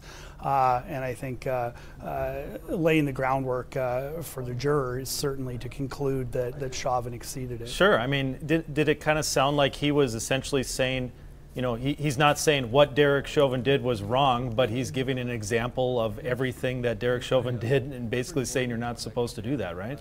That's right. I don't think it would take much for the jury to read between the lines and get a sense of what Lieutenant Zimmerman's opinion would be on that issue. And uh, you know, you have seen plenty of police officers and uh, top brass testify. Uh, just give a little bit of context to uh, what Lieutenant Zimmerman looks like here as a witness. Uh, you know, and, and maybe give us a basis of comparison with other what else you've seen. I I thought Lieutenant Zimmerman, as well as Sergeant Jon Edwards, who testified before him, came across very credibly. Uh, uh, they they had a very uh, uh normal, common man uh, demeanor to them. There was certainly no defensiveness or any kind of attitude uh, that we sometimes see when police are testifying in trials. So I guess I felt that their testimony came off fairly well. Okay, and we want to take another listen back at some of the key testimony here, and we'll talk about it a little more. But let's take a look back at more of it what has your training been specific to the prone position? Well, once um, once you secure or handcuff a person, um, you need to get them out of the prone position as soon as possible because it restricts their breathing. When you handcuff somebody behind their back, well, as part of training, have you been handcuffed behind the back? Yes. And have you been trained on what happens to individuals when they're handcuffed behind the back? Yes. So when somebody is handcuffed behind their back, how does it affect them physically? It, it stretches the muscles back through your chest and it makes it more difficult to uh, breathe. If you put somebody in the prone position, well, is it well known this danger of putting somebody in the prone position? Sustained. How long have you had training on the dangers of the prone position as part of a Minneapolis police officer? Um, for um, since I, 1985. And uh, is it part of your training regularly regularly to learn about uh, keeping somebody in the prone position? Yes. And what has the training been with regard to the prone position? Once a person is cuffed, uh, you need to turn them on their side or have them sit up, um, you need to get them off their chest. Why? Because of the, uh, as I mentioned earlier, your muscles are pulling back when you're handcuffed. And if you're laying on your chest, that's constricting your breathing even more. So, Brock, just walk us through what we heard there and why that's important to the prosecution. Well, uh, on his face, uh, with his hands cuffed behind his back, was exactly the position that George Floyd was in uh, for nine plus minutes. And, and not just that, but also with Officer Chauvin's knee on the back of his neck, uh, a tactic that uh, uh, Lieutenant Zimmerman had testified was at the highest level of, of the use of force policy. So those two factors combined create, I think, a pretty significant challenge for the defense uh, to argue that Officer Chauvin's use of force was reasonable under the circumstances. Well, that's my next question. so defense attorney Eric Nelson has not done his cross-examination yet. Where, where does he go from here after listening to that when we come out of the break? Well, that's a good question, Lou. I, you know, I anticipate that Eric has spent a great deal of time with his own use of force experts who will be testifying later in the trial. Um, I got to say, I know Eric well. He's a good guy and a very good lawyer, and I'm sure he's thought this through. Uh, but given the testimony of uh, Chauvin's direct supervisor and now uh, this high ranking homicide detective uh, regarding the policies uh, or the department's policies on use of force, um, it's going to be a challenge. And I am curious myself to see where he goes with his cross examination. Mm-hmm. And Brock, as we heard, uh, Lieutenant Zimmerman did uh, answer that question by the prosecution, and it was very specific. He said, as part of training, have you been handcuffed behind the back? How important is the framing of these questions right now for these jurors? Well, I, I think that kind of question uh, inevitably puts the jurors into George Floyd's shoes to start thinking themselves of what it would feel like to be on their face on the street, their arms pulled back behind their back, their, as uh, Lieutenant Zimmerman testified, their chest stretched and, and putting tension on their lungs. Uh, and then, of course, uh, the added weight of, of Derek Chauvin's knee on the back of their neck. Yeah, and Brock, as we mentioned off the top after the break, uh, Lieutenant Zimmerman did sign that open letter uh, in June of 2020 condemning Chauvin's actions. Do you think the defense brings it up, and how does this impact? Well, it's a good question. The defense did a great deal of groundwork uh, before the trial in motion practice to limit uh, Minneapolis police officers from uh, weighing in with their opinions during trial uh, regarding whether or not uh, Officer Chauvin's actions were reasonable. So I think there would be a double edged sword in Eric Nelson raising the fact that Lieutenant Zimmerman had made public statements uh, to the effect that he felt that Chauvin went too far. It'll be interesting to see whether he, he wades into that or not. And so, Brock, uh, I'm. Let, us uh, break that down just a little bit because, uh, you know, prior to the trial taking place, there's these motions, and they're technically called motions in limine, right. and that kind of sets like the ground rules for what's allowed in the trial, right. and that's why yesterday when Sergeant Pleoger was testifying and they could tell that it was going into his opinion on the use of force, Eric Nelson jumped up and he objected and he said, you know, this he even mentioned motions in limine. This was covered yet, you know, already. And so, first of all, um, as I bring it up here on my computer, just kind of explain that, and then I'll get to the specific wording that the judge gave on the order before we break that down. Sure. So in any trial, uh, uh, both parties submit what we call motions in limine to the judge prior to the trial, and then we argue them. And motions in limine are essentially the guidelines and the, the guardrails, so to speak, of what's going to be allowed in or not allowed in trial. Uh, to avoid as much as possible lawyers asking questions that will elicit information that, that uh, witnesses are not allowed to go into. And what we saw yesterday was the fact that despite all best intentions, sometimes uh, some of that kind of testimony slips through the cracks and gets mm-hmm. in. And Eric uh, did rightfully jump up and object and do his best to to uh, get the officer's testimony back within those parameters. But as uh, as you already noted, uh, uh, the supervisor, Chauvin supervisor, sure. was allowed to testify that he felt that Chauvin had exceeded uh, the use of force limits. So, Brock, I have it ready to read here. So, the defendant moved for the court to preclude witness police officers from speculating or rendering an opinion how they would have handled the arrest of Mr. Floyd differently. And uh, what what Judge Cahill he granted that, and he added, except for use of force experts with appropriate foundation and explicit permission of the court after a sidebar conference. And so, do you, does that leave it open for the, the prosecution to do it the way they did yesterday? Uh, well, I would expect that there's been some conversations uh, off the record among the parties uh, uh prior to uh, Lieutenant Zimmerman's testimony today to try to ensure that they don't run into the same issue uh, today. And, and, I guess it'll be interesting to see. Yeah, that, that's kind of the goes. inside baseball, and, right. and, you know, and we're we're going into it just because of how impactful it is to the jury to hear that from the direct supervisors over Derek Chauvin. Yeah. Yeah, Brock, I do have a question about uh, just, you know, we did hear from Sergeant Jon Edwards, who was really just kind of a scene setter and told us, you know, what was going on. But he did mention uh, George Floyd's car and the squad car. The car, I think, will be a critical piece of this. As Lou and I both know, uh, the uh, defense did have that revelation uh, before the trial started that they found drugs that the BCA had missed. How important do you think it is to go through with the jury um, exactly how it happened and exactly what officers saw when they were on the scene.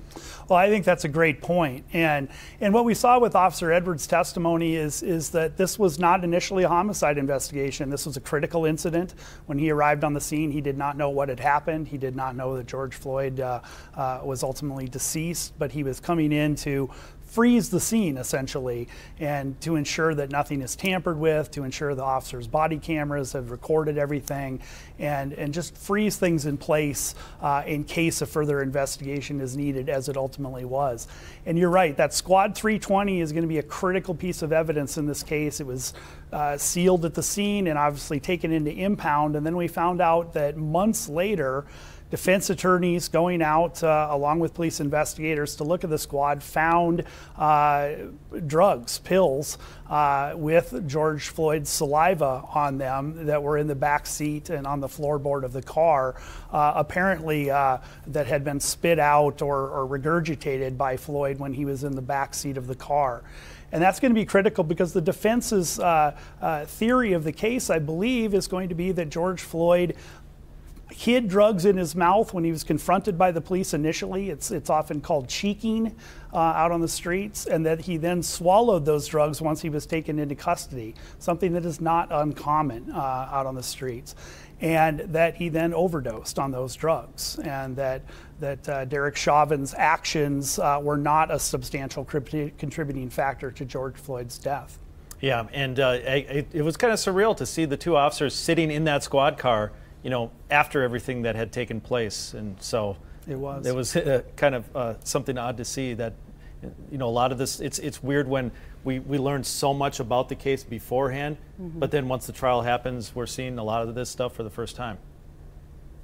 So Brock, as we move forward here, um, you know, we don't expect Chief Medaria Arradondo to testify today as as was originally planned. Um, but once they get to the chief, you know, judging by how these last few officer witnesses have gone, where do they go when they get to Chief Arradondo? Well, that's a good question. Uh, Lieutenant Zimmerman has gone into use of force policies much more than I anticipated. Um, him being the chief of the homicide division, I guess I anticipated his testimony would be more directly related to how this critical incident turned into a homicide investigation and, and what the initial steps of that investigation were. But he's gone much more into use of force policy than I would have thought. Um, and, and that is the territory that I guess expe- I expected Chief Arradondo to be going into. And perhaps he will uh, go into it on, on, on a higher, uh, more policy level. Right. And, you know, it, it, Chief Arradondo may also go into, um, you know, a lot of, of what's expected of officers. And uh, Lieutenant Zimmerman did that as well, talking about what's expected of them when it comes to applying medical aid. And right. uh, let's take a listen back at that first. And as part of your training within the Minneapolis Police Department policies, uh, is there an obligation to provide medical intervention when necessary? Absolutely. What is the general teaching that you get uh, with regard to medical intervention? Well, again, it, um, it's been that you need to uh, provide uh, medical care for a person that is in distress. And is, would that be true even if you've called an ambulance to come to the scene?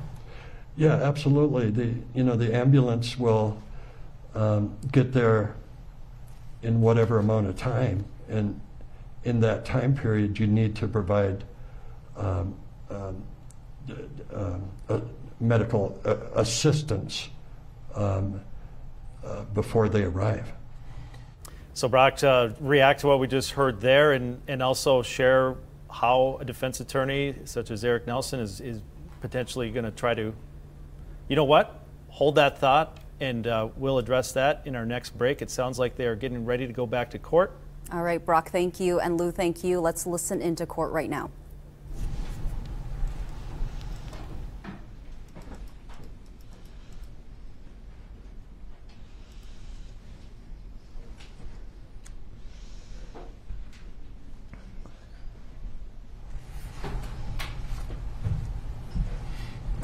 Just a reminder, you're still under oath. Yes, sir. Thank you, Your Honor. Lieutenant Zimmerman, um, I want to draw your attention back to the incident on May 25th of 2020. Yes. Earlier, you told the jurors about being at yeah being at the scene, finishing your work there. Um, the next day, did you have an opportunity to review some video of that incident? Yes. And do you recall what that video, where you saw it? Yes. And was it the, we've been calling the Dar- Darnella Frazier video? Yes. Did you watch that video in its entirety? Yes, I did. And since then, have you had an opportunity to watch other video of the incident? Yes. And specifically, have you watched uh, body worn camera video of the incident from the involved officers? Yes. And based on that uh, and your years of training and experience with the Minneapolis Police Department, um, you saw Officer, then Officer Chauvin with his knee on Mr. Floyd's neck, correct? Yes, Would you call what you saw there a use of force?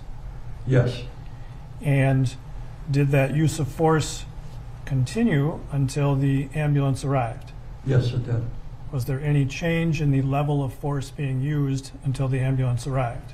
No, And what do you think about that use of force during that time period? I'm sorry. What do you think about that use of force during that time period? A little vague. Could you uh, li- limit it to uh, the time frame? Right. Okay. So, um, based on your review of the body worn camera videos of the incident Yes, and directing your attention you know, to that moment when Mr. Floyd is placed on the ground, yes. what is your, uh, you know, your view of that use of force during that time period? Totally unnecessary. What do you mean?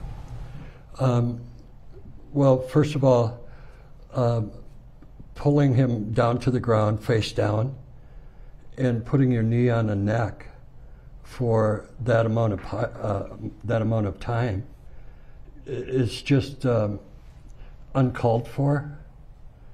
Um, I I saw no reason why the officers felt they were in danger, if that's what they felt. Um, and that's what they would have to feel to be able to use that kind of force. So, in your opinion, should that restraint have stopped once he was handcuffed and prone on the ground? Absolutely. And I should add to that question then also that it appeared he had stopped resisting. I'm sorry. And it appeared that he had stopped putting up any resistance. Absolutely, I would stop. I have nothing further, Your Honor. Mr. Nelson.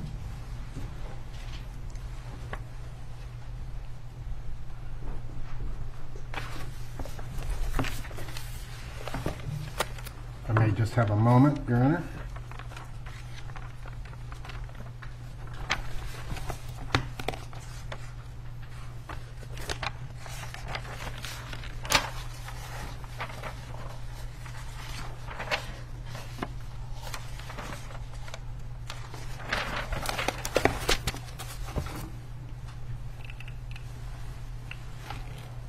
Good, good morning, Lieutenant Zimmerman. Good morning. Thank you for being here today. You're welcome. So you testified that you have been a Minneapolis police officer since June 5th, 1985, correct? 1985, yes. And uh, prior to that, you were with another agency. Yes, And uh, when you initially came on to the Minneapolis Police Department, you were a patrol officer, correct? yes, And you were a patrol officer from 1985 to approximately 1993 when you took the sergeant's exam and were promoted. yes, And so it's fair to say that since 1993, so 27, 28 years, you've not been on patrol in the city of Minneapolis. correct. Uh, your assignments have been uh, investigative in nature, correct? Yes, And generally speaking, an investigative role is um, more of a follow up type role, right?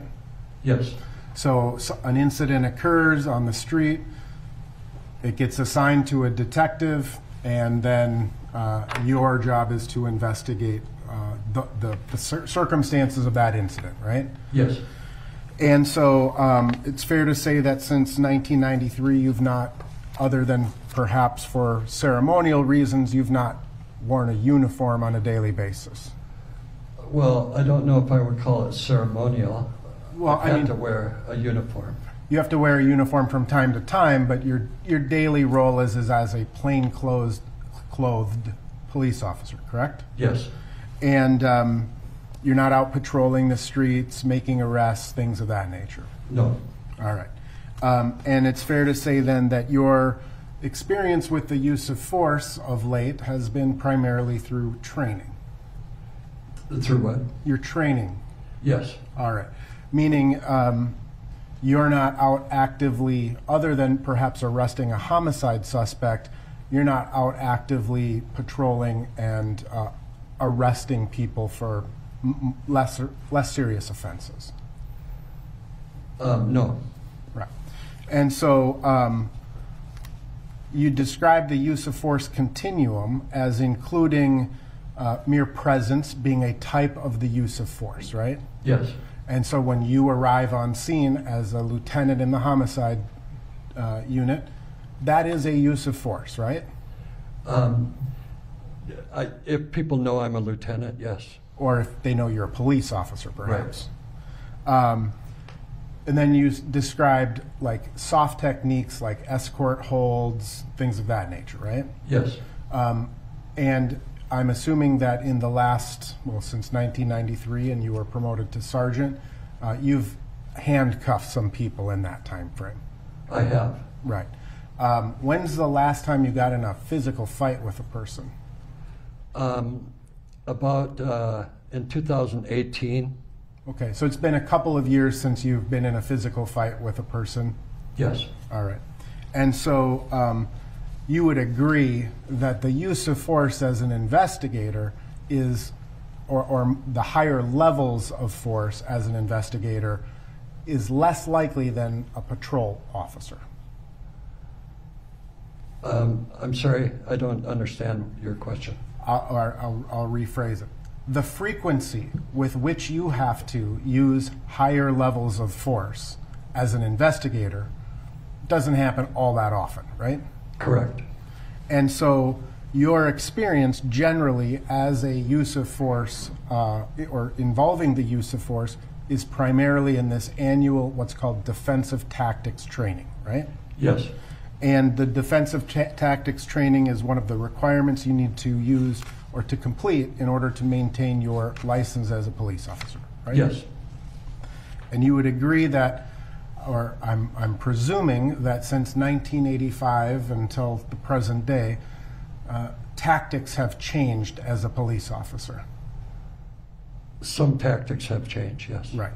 And uh, it's fair to say that you are not a trainer in the Minneapolis Police Academy relevant to the use of force, correct? That's correct, yes. You do not teach other police officers defensive tactics. No, I don't. Um, your, um, you would agree, however, that uh, roughly 10 years ago, the Minneapolis Police Department kind of moved away from trying to hit people to control them and started using body weight to try to control people. I, I don't think I would agree with that. Okay, so you think that, I mean, within the, within the arsenal, so to speak, of a police officer, uh, it's as common to punch or strike someone in the use of force as it is to just use what are called takedown moves or body weight pins? Yes. Okay, and that's been throughout your entirety of your career? Um, yes. Okay. And so, um, and you're basing that again on your experience as uh, just going through the defensive tactics requirements. Right. All right. And again, as a lieutenant and the number one senior officer in the Minneapolis Police Department, um, I'm presuming that uh, your understanding of the use of force involves um, the Minneapolis Police Department policies on the use of force, right? Yes. And the Minneapolis Police Department policies uh, are designed, at least based on your understanding, to address the legal requirements for the use of force. Yes. And so there are factors, correct, to determine whether or not a use of force is proportional, reasonable, things of that nature, right? Correct. And, and what we look at in any particular case is the totality of the circumstances. Agreed? Yes. So there's lots of different information that a police officer has to use in order to determine the, the level of force to be used under which circumstances. Yes. Agreed? Yes. Now, in terms of um, the Minneapolis Police Department, are you familiar uh, with the Minneapolis Police Department's um, critical thinking or, or critical decision making uh, model? Yes. And you would agree, I'm assuming again, based on a, on a long career, that an officer is constantly taking in new information and that information will affect the decisions he or she makes, right? That's correct. And would you also agree that the training that you received initially as a police officer is probably a lot different than the, uh, the academy now? Ye- um, yes. Um, obviously, the, the available tools that officers have are a lot different today than they were in, you know, 85, 90, 95. Yes. Body cameras, they didn't exist when you first became a police officer. That's correct. Tasers were not a thing either, right? No. Um, you, you carried a gun and some handcuffs and kind of old school cop, right? Yes. Um, now, in terms of the decision making, uh, the decision making of a police officer, would you agree that there are certain pieces of information that that officer has that affect his or her decisions on the use of force? Yes. And some of those, some of that information is very immediate, kind of low level information. Agreed? Yes. So, for example, what just happened with this particular suspect, right? Yes. Is this suspect under the influence of a controlled substance or is he sober, Yes. right? Um, what are you looking at in that moment through your own eyes, right? Yes. That's the officer's experience in any situation, right? Right. You look at other things that may be hazards or threats in the immediate vicinity, correct? Yes. So you're going to assess are there people watching? Are there people videotaping? Are those people happy or angry, etc., right? Yes. You're going to look at um, what we would refer to as scene security, right? Yes. You have a responsibility as a police officer for your partners who may be close to you, right? Yes. You have a responsibility as a police officer for all of the people in the immediate area, right? Yes. And so scene security is kind of trying to keep it as tight as possible and keep everybody in the area safe. Agreed? That's correct. Everybody. In turn, you were asked a series of questions about your uh, uh, an officer's medical responsibilities. I'm sorry. You, I said, do you, I you were asked a series of questions about your medical training and, a, and an officer's medical, uh, re- what they're supposed to do. Right. Yeah. Yeah. Yeah. Um, and even in the assessment of a medical emergency, there are many factors that come into that assessment, correct? Yes. To your knowledge, Minneapolis police officers are sort of are they're trained medically at a fairly low level. They're not paramedics, doctors, etc. That's correct. You're a first responder. Yes. Basically, you're taught how to apply tourniquets, patches for gunshots, stop bleeding, basic CPR, and resuscitative efforts, right? That's correct. A police officer's job primarily is to keep the scene safe. Agreed? I'm sorry. A police officer's responsibility is to keep the scene secure and safe. Agreed? Yes. Minneapolis police po- policy requires the uh, involvement of a higher level of medical intervention if the circumstances dictate, correct? Yes. And an officer is required, if someone is having a medical emergency, to take what steps are they're able to reasonably in the moment, right? Yes. And that would include potentially calling EMS. That's correct. But then, so you've got all of these immediate factors, right, that come into play. But then you can kind of widen that lens a little bit, and you can, there are some other factors that come into play in terms of the use of force, again, based on your training and experience. Yes. Such as, what do we know about the location generally, right? Yes. Is this a field in the middle of uh the woods, or is this a higher crime area, right? Yes. An officer is evaluating that as a process, as a part of the process involving the use of force. Agreed? Yes. You look at other things such as tactical advantages or disadvantages. Agreed? Yes. So if you are if you are not able to get what's called concealment or cover, that becomes a question, right? Um, in what? Uh, Well, in, in a use of force, you're, you're examining the, the surrounding area, right? To see if something happens, can I conceal and cover, right? yes. You also, in addition to the scene security, you need to deal with securing the scene, which is different than scene security. Agreed? Yes. Scene security is maintaining the safety of everyone around, including yourself and your partners, right? Yes. securing the scene is making sure that the scene itself is preserved and kept tight, right? Correct. Yes. And in fact, a police officer's responsibility and part of the use of, of force determination is to prevent or avoid the use of force against other people. Agreed? Yes. Absolutely. So if you have to use force against one person to avoid using force against others, that's a factor that an officer should consider. Agreed? Um, I I don't know if I would agree with that. Okay. Um, again, within the training department, those people who are, uh, it's their jobs to do that. They may be better an- to answer those questions. Yes. All right. And then, even from there, you can widen the lens even further, and an officer will look at his training, right? Yes. What he is trained to do or not to do, right? Yes. He will look and take into experience, or she, he or she, will take into account his or her own experience from their past career. Agreed? Yes.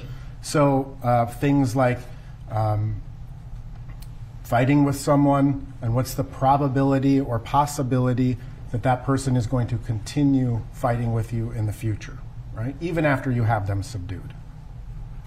Um, I, I- don't know, I, I, I don't think I can agree to that totally, but Okay. I understand what you're saying. There are circumstances where after a person is rendered unconscious, and then you perform, uh, you, you revive that person, that they are more combative than they were initially.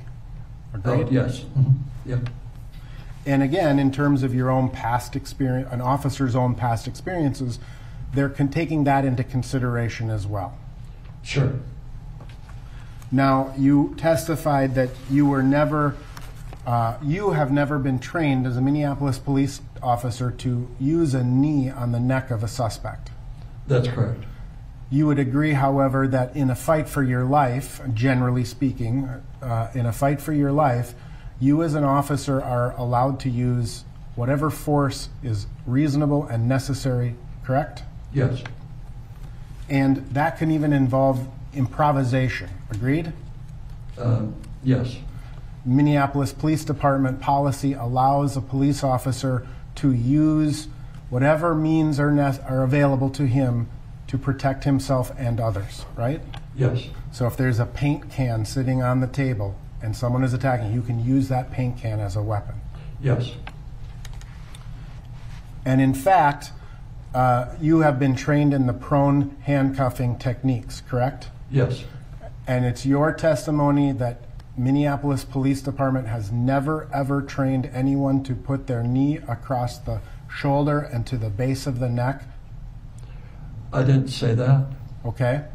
So w- you would agree then that pursuant to Minneapolis Police Department training, when a suspect is arrested and, and in the process of being handcuffed or being restrained, it would be consistent with the Minneapolis Police Department training you've received to place your knee across the shoulder to the base of the neck.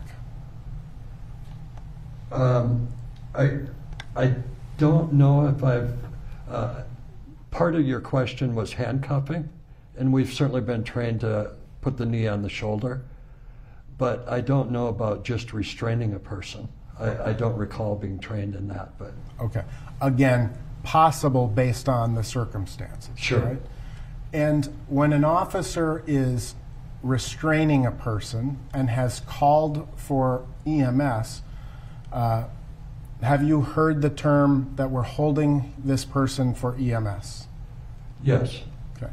And essentially, that means you want to keep them in that position until EMS arrives because they're more capable to deal with whatever this situation is. Agreed? Uh, no, I don't think I would agree with that. Okay. How would you describe the term hold for EMS? Hold for EMS is that you are holding him for EMS or her. And sometimes people are held for EMS in a restrained position. Agreed? Yes, sometimes, yeah. Now, you also testified that once a person is handcuffed, the threat, I think you said, is gone. It's at the lowest threat level, right? Yes, that's correct. Now, that obviously, um, a person who's handcuffed can still pose a threat, right? Um, I suppose they could, yeah. So, an officer who is hand, even though he has someone handcuffed, that person could continue to kick the officer. Um, yeah, I suppose, yeah. That off, that person could continue to thrash his body around. Agreed. Sure. And part of the reason police officers restrain people is for that person's own safety. Agreed. Absolutely, yeah. Now, it also presumes that the handcuffs were placed on correctly, right? Yes. Um, sometimes in the in a struggle or um, an attempt to handcuff someone, handcuffs aren't placed on properly, and they can pop open or be too big for a suspect, right? Um, yeah, I, I, I don't know if I've ever seen them too big, you know, for a suspect. Sometimes they're too tight, Okay. but But if sometimes in the in the process of handcuffing someone, one handcuff goes on, thereby giving the suspect a potential weapon if he were to break free, right? Yes. Or she, for that yes, matter. And officers have been attacked with their own handcuffs, in your experience, right? oh yeah, yes, So, you you would agree that the use of force is a, dy- a is a dynamic uh, series of decision making based on a lot of different information, absolutely. and it's based upon a lot of information that is not necessarily captured on a body camera. Agreed. Uh, yes, that's correct. The body camera is only so effective to show what the body camera sees and not what the officer sees. That's correct.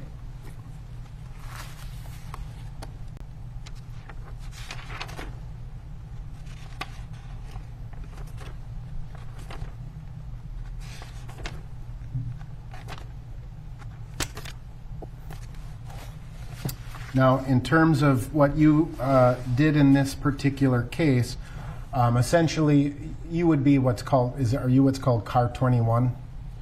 Is that the homicide unit? And I Uh, may no, it's not. CAR 9. I don't know.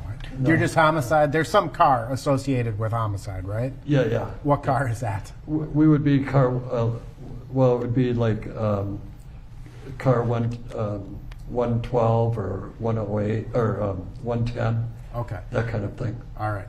So you got called, uh, or you were made aware of this incident back on May 25th of 2020. You understood it to be a critical incident, correct? Yes, And um, it is Minneapolis Police Department policy to turn over the investigation of any critical incident, or the majority of critical incidents, we should say, to the Bureau of Criminal Apprehension, right? yes, And that is uh, to avoid any potential conflicts between the involved officers, uh, right? yes, that's right. And so your role, you heard this call came out, and you kind of self assigned to, to show up here? Yes, And you did that because you wanted to make sure the scene was secure, right? yes, Uh, to make sure that the officers who had responded to the scene were doing the things that they should be doing in connection uh, with a critical incident, that's correct. such as roping off or tying off the off the tape or taping off the scene, I should say, right? Um, Putting up crime scene tape? Yes. Yes, um, not permitting citizens to come wandering through the scene, right? Yeah, yeah. um, canvassing the area, I think you said. And ultimately, um, your role in this particular case was limited to a couple of hours of time, making sure those things were done, and until um, uh, BCA agents arrive and, and you it off the scene, right? Yes, that's correct. All right. And it was it was not until later that you were asked to review the uh, body worn cameras of the officers and uh, consider the use of force, right? Yes, And it would not be within your normal role uh, of y- or job duties to do such a use of force analysis, right? that's correct. I have no further questions. Redirect.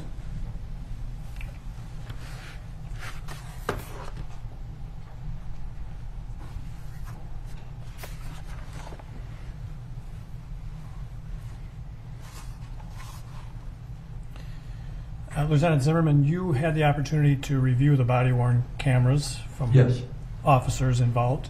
yes, Did that also um, capture the bystanders on the sidewalk during the incident? yes. Was there something about that group of bystanders that, in your assessment, was sort of, uh, an uncontrollable threat to the officers at the scene?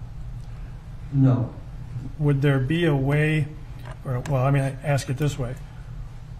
What, would there be other ways for officers to deal with bystanders?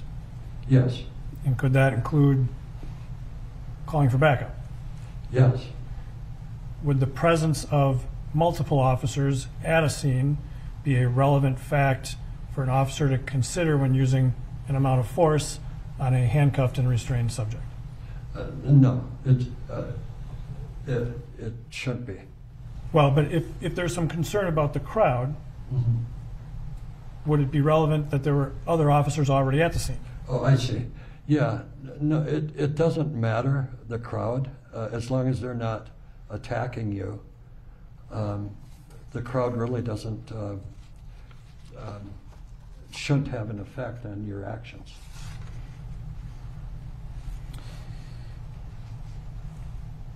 You were asked if the use of force uh, training has changed over time, Yes, okay, but you still get the most up-to-date training every year when you go to the use of force training. I do, yes. Um, and you were asked about, you know, has the academy changed uh, since you went to the academy? Yes, And uh, you haven't been through the academy since then, correct? right, yeah, But you have some familiarity with how the academy trains new officers. absolutely. And do you think that academy training provides appropriate training for officers Uh, yes, it should. and would provide the most up-to-date training on the use of force for Minneapolis officers that take the academy type training? Yes,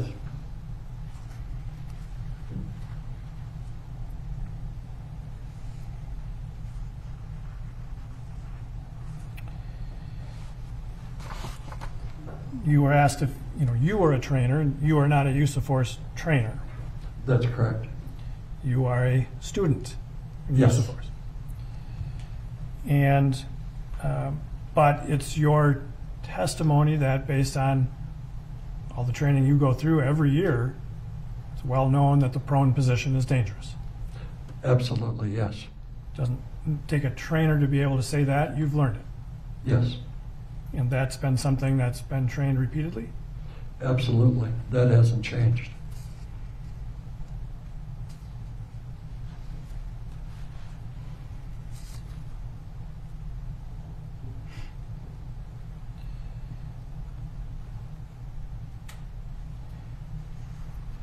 You were asked about the critical decision-making model. Yes, Familiar with that from your training? yes, And part of that is continually reassessing the need for force. correct. It's a fair statement? Yes, And so that would include reassessing um, The location, Yes. the tactical advantage, Yes. conceal and cover, Yes. scene security, Yes. Security and scene, Yes. or security of the scene, Yes. medical distress of the person restrained, Yes.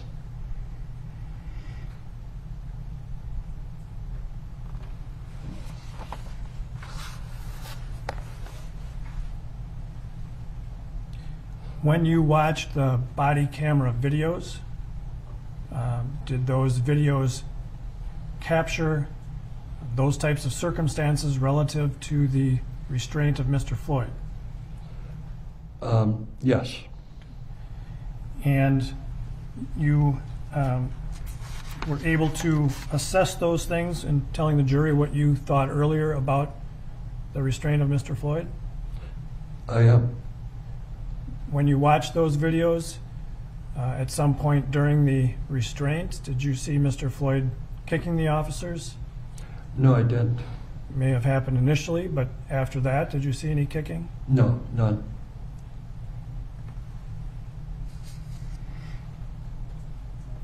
Defense counsel asked you about the concept of holding for EMS. Yes. Um, so sometimes it's necessary to keep the person there so they can receive medical treatment. That's correct. Does holding for EMS um, excuse an officer from providing medical attention that they've been trained to provide? No, it doesn't. Does holding for EMS excuse officers from continuing to use this decision making model about the use of force? No, it doesn't. Does holding for EMS excuse officers from using other resources like other officers at the scene to No. deal?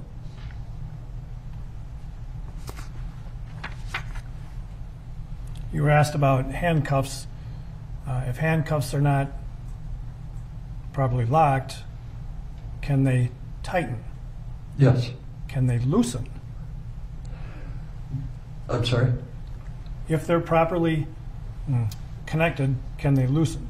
hmm They can come open. But if they're locked, can they still tighten? That's right. If they're not, I think the term is double locked. Right, yes. And-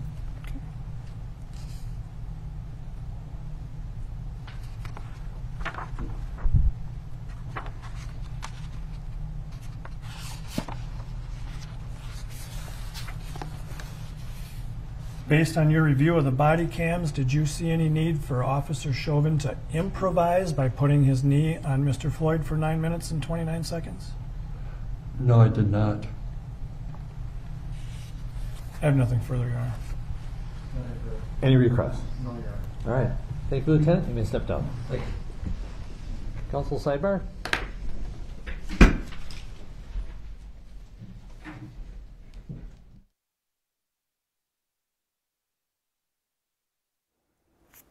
All right, Lou, what's happening? Well, they just finished with uh, this witness, Lieutenant Zimmerman, and uh, they may be talking about whether there's going to be one more witness before they, they take a break uh, or, or break for the week because they told the jury they were going to be done around 12 or 12:30 today. Uh, so we'll see. There might be one more witness, and it may be a shorter witness before we're done here. Um, but you know, this time in the morning they, they have to talk about scheduling and whatnot. So. Right, and people are hoping to get away early for the weekend. It's been a long week, I assume, uh, for jurors, and I know ju- the judge takes that into consideration as well. A- absolutely. It, and it sounds like they're about to come back here, and so we'll talk more in just a second. Okay. Right. Members of the jury, that's going to do it for today. So we're going to release you, uh, adjourn for the day, and return hopefully to start 9.15 on Monday. We have a motion before that that we have to deal with, so it might be 9.30. But let's shoot for 9.15. All right? Thank you. Have a good weekend. All right, you've been watching the uh, coverage of the Derek Chauvin uh, murder trial, and as we just heard, Lou, uh, the end of a very historic week. So much that's happened this week, and even a lot that's happened today, even the short amount of time. Yeah, you know, we talk about how they try to end on a high note at the end of each day, and um, you know they even want to end the week on a high note and, and send the jury home with something. And they may have done that by having uh, Lieutenant Zimmerman testify that he thought the knee on the neck was inappropriate and, and should not have been used in that situation. So I, you know, they, he is the prosecution's dream police witness on the witness stand. And why? And why is that? I mean, he's so plain spoken. Uh, he just he he turns toward the jury and he's very personable with them. And you know, one thing that I noticed, and we can ask our guests a little Mm-hmm. bit about this, but when Eric Nelson was cross-examining him, and Nelson was bringing up all the points that he should be bringing up, uh, Zimmerman did not disagree and say and and and try to fit something in on his answers at the end. That that kind of thing is can psychologically, I think, the jury would if if he tried to do that, the jury might think, "Ooh, he's just really trying to help the prosecution here." But he just answers everything so straightforward, even on cross-examination, Right. that it comes across credible. It just seemed like he was answering both sides in the same way that he would. It felt even. Is that what you're saying? Like Right. the way he talked to both uh, didn't feel like he was trying to sway people one way or the other. I thought it was super interesting, and I would also like to hear what our guest has to say Yeah. about how on cross-examination what the defense did, how they felt like did Eric Nelson get as much out of him as he could have, and how damning is it to have uh, Pleoger yesterday and then Zimmerman today, and then pre- uh, presumably Arradondo on Monday Yes. all saying the same thing. Um, you know, we're used to uh, police officers protecting themselves, and Yeah. at least that's what we think in our minds as civilians, right? Um, and I'm the daughter of a police officer, so I say that with, you know, with Mm. just what the public uh, perception is. And then to have these people all kind of saying this was not proper. Yeah, lots to talk about. Yeah. Why, why don't we set it up? Uh, take a listen back at some of the testimony that we just heard. Based on your review of the body worn camera videos of the incident Yes. and directing your attention you know, to that moment when Mr. Floyd is placed on the ground, Yes. What is your, uh, you know, your view of that use of force during that time period?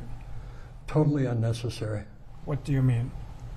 Um, well, first of all, um, pulling him down to the ground, face down, and putting your knee on the neck for that amount of uh, that amount of time is just um, uncalled for.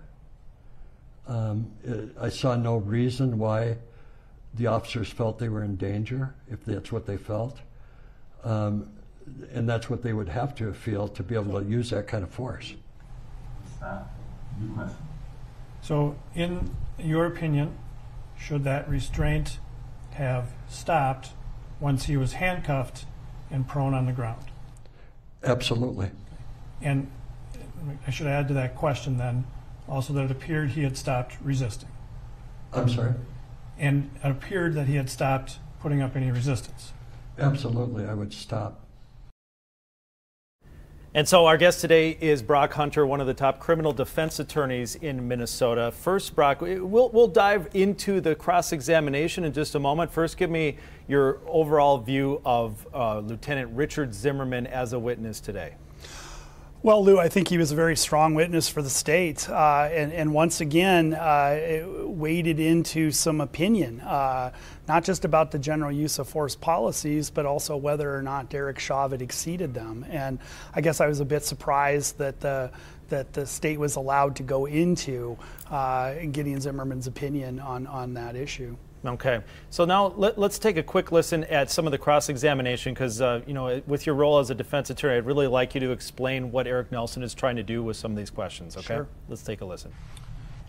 And in fact, uh, you have been trained in the prone handcuffing techniques, correct? Yes. And it's your testimony that Minneapolis Police Department has never ever trained anyone to put their knee across the shoulder and to the base of the neck, I didn't say that. okay? So w- you would agree then that pursuant to Minneapolis Police Department training, when a suspect is arrested and, and in the process of being handcuffed or being restrained, it would be consistent with the Minneapolis Police Department training you've received to place your knee across the shoulder to the base of the neck. Um, I, I don't know if I've, uh, part of your question was handcuffing, and we've certainly been trained to put the knee on the shoulder, but I don't know about just restraining a person. I, I don't recall being trained in that, but Okay. Again, possible based on the circumstances. Sure. Right? And when an officer is restraining a person and has called for EMS, uh, have you heard the term that we're holding this person for EMS? Yes. Okay. And essentially that means you want to keep them in that position until EMS arrives because they're more capable to deal with whatever this situation is. Agreed? Uh, no, I don't think I would agree with that. Okay. How would you describe the term hold for EMS? Hold for EMS is that you are holding him for EMS or her. And sometimes people are held for EMS in a restrained position. Agreed? Yes, sometimes, yeah. So, Brock, dive into the cross examination. Uh, was Eric Nelson effective? What did he get out of him? Uh, just kind of bring us bring us into that a little bit. Sure, Lou. Well, I think what Eric was doing here was pointing out that Lieutenant Zimmerman, as a homicide detective, is is perhaps not a uh, ideally qualified use of force expert. That uh, the training that he received uh, is perhaps a bit outdated, uh, and that as a detective he does not use uh, force on the streets on a regular basis, and that this is perhaps just not his his lane essentially. Um, and and I think what you see here is him challenging. It, it sounds like he, Eric will probably be bringing expert witnesses in during his uh, defense uh, portion of the case, in which uh, evidence comes in that that Minneapolis police officers did receive more updated training than perhaps Lieutenant Zimmerman was aware of or, or used on a daily basis. Yeah, and we heard him say knee on shoulder rather than knee on neck there. Uh, and so, you, you know, Eric Nelson, uh, so our viewers know, he has the training materials and he has all this info. You know, talk about what a defense attorney knows when they're asking these questions to witnesses. Sure. Well, I'm sure Eric has gone through the Minneapolis Police Department's use of force policies with a fine tooth comb, and he has extensively delved into them with his use of force experts, dissecting all of it and, and figuring out uh, how they're going to apply those in this case. Uh, and so you can sort of see uh, a, foreshadowing, perhaps, of, of the kinds of uh, uh, arguments that Eric and, and uh, through his expert is going to be making in his portion of the defense. Now, Brock, talk to us a little bit about what the jury is thinking here, because um, regardless of whether it's reality or not, we, we tend, as the public, to think of police officers protecting their own. Uh, and this seems to be, you know, at least two witnesses yesterday and today kind of doing the opposite of that, uh, not outwardly, but just in the line of questioning. It, it's turning out to, to, to support that. What does that say to the jury, or does that not say anything to the jury? Well, Rena, I think that's highly unusual compared to other trials in which police officers are are accused of, of uh, brutality or, or committing homicide. Um, you're right. There is there is usually uh, the thin blue line, and officers uh, stand uh, up for each other, and it is highly unusual to see officers testifying so explicitly against one of their own. And and I would assume the jurors are aware of that on some level, uh, and and it must be struck by just how unusual that is. And you know what? Um, just to drill down on that even more, the witness that we heard yesterday was the sergeant who's his immediate supervisor, and then Lieutenant Zimmerman is in charge of the homicide unit, so another level up. And then next week, we're going to hear essentially the same thing from the boss, the chief of police, Medaria Arradondo. Uh, do you think? Do you think the order made sense there? Do you think that they will attempt to drill that home with the jury that it's, you know, we're not just putting the chief out here to say what you already know he believes? Sure. Yeah, I think the order makes sense. They're starting out with Chauvin's immediate supervisor, uh, an officer who is out on the streets, uh, seeing the reality of, of policing uh, very much in the way that, that Officer Chauvin did, um, and then going up the chain. Uh, and, and again, it's, it is somewhat unusual to me to see Lieutenant Zimmerman testifying on use of force. I did anticipate his testimony was going to be more focused on the initiation of the homicide investigation in this case, and they did touch upon that a little bit towards the end. But but he very much was uh, used essentially as a use of force expert here. Um, and and then going on up to Chief Arradondo, that makes sense. They're, they're kind of going up, and Arradondo, I assume, will have a, a broader 30,000 foot view, so to speak, of all of this and, and be talking more about policing policy and perhaps the evolution of police use of force over the last few years uh, and, and how, uh, uh, uh, from their perspective, Officer Chauvin uh, overstepped it. We talked a little bit uh, yesterday just about momentum, if you will. It feels weird and uh, uncomfortable to say that word when you're talking about a murder trial, but obviously this is the uh, prosecution, the state presenting its case. Will there? Will, do you think there's going to be a momentum shift? And is there anything the defense can do to try to uh, shine some light and, and, and make their client look not as bad as it looks right now? Sure. Well, you're right, Rena. Every and every trial has changes in momentum and, and sort of uh, ebbs and flows and how things seem to be going for one side or another. And keep in mind that what we have been seeing so far is, you know, primarily the state's case and the state's evidence, and they led with very impactful, emotional evidence that that. Uh, from what I've read, seems to have had an impact on the jurors. Um, and just the, the reports coming from the courtroom that there's a lot of emotion in that room. Um, but we are starting to shift gears now into a different portion of the case, and it's going to start getting more technical. We're going to hear about use of force uh, uh, even more than we have now. We're going to have use of force experts come in and, and dissect this further. And then we're going to have a lot of medical evidence. Uh, we're going to have forensic medical examiners testifying about George Floyd's cause of death. Um, and, and some of that will probably get from the perspective of viewers, perhaps a little bit more dry than the early stages of the case. But it's going to be in those portions where the defense case really starts to flesh out. And, and ultimately, uh, as I said earlier, Eric Nelson's defense appears to be shaping up that uh, George Floyd's uh, consumption of drugs along with perhaps some underlying medical issues, uh, was the superseding causing factor in his death uh, and that and that Derek Chauvin was not the one who substantially contributed to his death. And that evidence is going to be coming out during uh, this more technical testimony, and then obviously ultimately when uh, Eric puts on his own witnesses and putting on Mr. Chauvin's defense. Yeah, and some good points here, Brock. And uh, when we get into this, sometimes I have to take a step back and remember, oh yeah, this is the first trial that a lot of our viewers are actually watching, and sometimes we get questions like, when does Eric Nelson start? Why isn't he putting witnesses up? Well, that comes after the prosecution is completely done with its case. Another, you know, kind of technical question coming from one of our viewers. When we listened to the questioning there of Lieutenant Zimmerman, there was a lot of like hypotheticals and theoreticals. And a viewer asked, is there a legal reason why Nelson doesn't ask direct questions about this particular case? Just trying to understand how this works from a legal standpoint.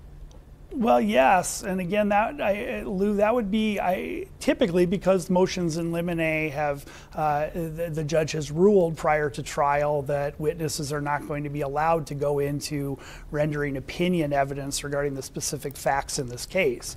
So attorneys will often uh, present hypotheticals and ask a, a, witness to to weigh in on them. But as I said, both with uh, uh Officer Chauvin's supervisor yesterday and Lieutenant Lieutenant Zimmerman today, uh, it seems as if their testimony has strayed across that line into direct opinion evidence about uh, Officer Chauvin's guilt. Right. And um, in, in, in cross examination there, Brock, um, you know, it, it's probably fair for Eric Nelson to ask Lieutenant Zimmerman, you know, about the last time that he was in the streets doing the job that like his client is doing, for example, and right. trying to differentiate, you know, that that Zimmerman comes out after the incident's over and investigates, for example. What did you think about when we talk about training? Because he talked about his training. Uh, would Lieutenant Zimmerman get the same training as Derek Chauvin received, and, and is, is he just as relevant to talk about training as somewhere else, or was it venturing into uh, uncharted, you know, territories as far as it, you know, knowing where those answers would go. Well, I think what Eric was implying is that, that Lieutenant Zimmerman's you know primary training was in the police academy decades ago, and that police use of force has evolved significantly since then. I'm sure uh, that, and I believe Zimmerman touched upon this somewhat, but I'm sure that all officers, including detectives, are required to update their training uh, periodically and, and learn you know current use of force uh, techniques. But I would also assume that because detectives don't use that stuff very much, uh, as Zimmerman acknowledged, that that training is probably not nearly as intensive or detailed uh, and as up to date, perhaps, as an officer who is out, you know, patrolling the streets on a daily basis. Now, you mentioned uh, the witnesses giving more opinions, and we've had some viewers uh, emailing in and saying, why are they allowed to get so emotional? Why are they allowed to talk about opinions on the stand? And is that just because we're not used to seeing trials live like this here in Minnesota, or is there something really very different about this particular trial that we're allowing uh, emotion and seeing more emotion and opinion? Well, you're right, Rena. Opinion uh, and emotion is typically not allowed to be brought into a trial. It is just about the facts and what exactly witnesses saw, heard, perceived in a moment. Um, but we did see a lot of what amounted to opinion, evidence, and emotion. And, and I would say that the defense, to some extent, opened the door for that in, in arguing that the uh, the crowd or the, the, the, small crowd, the group of people gathering on the sidewalk, uh, interacting with the police officers, were emotionally charged themselves and getting more and more angry, and that their behavior perhaps uh, had an impact on Officer Chauvin and the other officers in the way that they were dealing with the situation. And so that seemed to open up this issue of mm-hmm. what were the emotions of the bystanders? Were they angry? Were they just simply upset? Um, and it seemed like they were able to go into territory that you do not typically see in a trial. Okay, let's take a, one more listen back at some of the testimony that we heard here. Defense counsel asked you about the concept of holding for EMS. Yes. Um, so sometimes it's necessary to keep the person there so they can receive medical treatment. That's correct. Does holding for EMS um, excuse an officer from providing medical attention that they've been trained to provide? No, it doesn't. Does holding for EMS excuse officers from continuing to use this decision making model about the use of force? No, it doesn't. Does holding for EMS excuse officers from using other resources like other officers at the scene to no. deal? So, Brock, we're getting close uh, to wrapping up this morning, um, but I want you to talk about what happens now. We've hit the first weekend and what's going to be a long trial. The jury can go home to their families. Um, wh- what do you see the jurors doing, the prosecution doing, the defense doing at this point in the trial with a couple days off? Well, I'm sure everyone involved directly in this trial is exhausted uh, by this first week. It has been very emotional, even by uh, criminal murder trial standards. And I have no doubt that the attorneys are exhausted. They probably have not been sleeping much uh, throughout this week. And, and I expect the jurors probably too. This is so far outside of anyone's experience. You know, uh, very few people ever serve on a jury. And to serve on a jury in arguably the most high profile high profile trial in our lifetimes has got to be stressful beyond belief. And so I expect everybody's going to be going home and catching their breath and, and getting some rest and processing everything that they've heard this week and, and uh, bolstering themselves for the weeks to come. Okay, Brock Hunter, thank you so much for your expert uh, analysis today. And it was uh, so nice to have you with us and sharing uh, your thoughts. All right, Lou, thank you for all your coverage as well. And today, since we're wrapping up a little bit early, we're going to be able to send people to uh, Days of Our Lives, uh, the programming. But we will, of course, be back at 4, 5, 6, 6.30, and 10 with the latest information. And you can always follow us at kare11.com and any of our uh, streaming platforms. Have a great afternoon.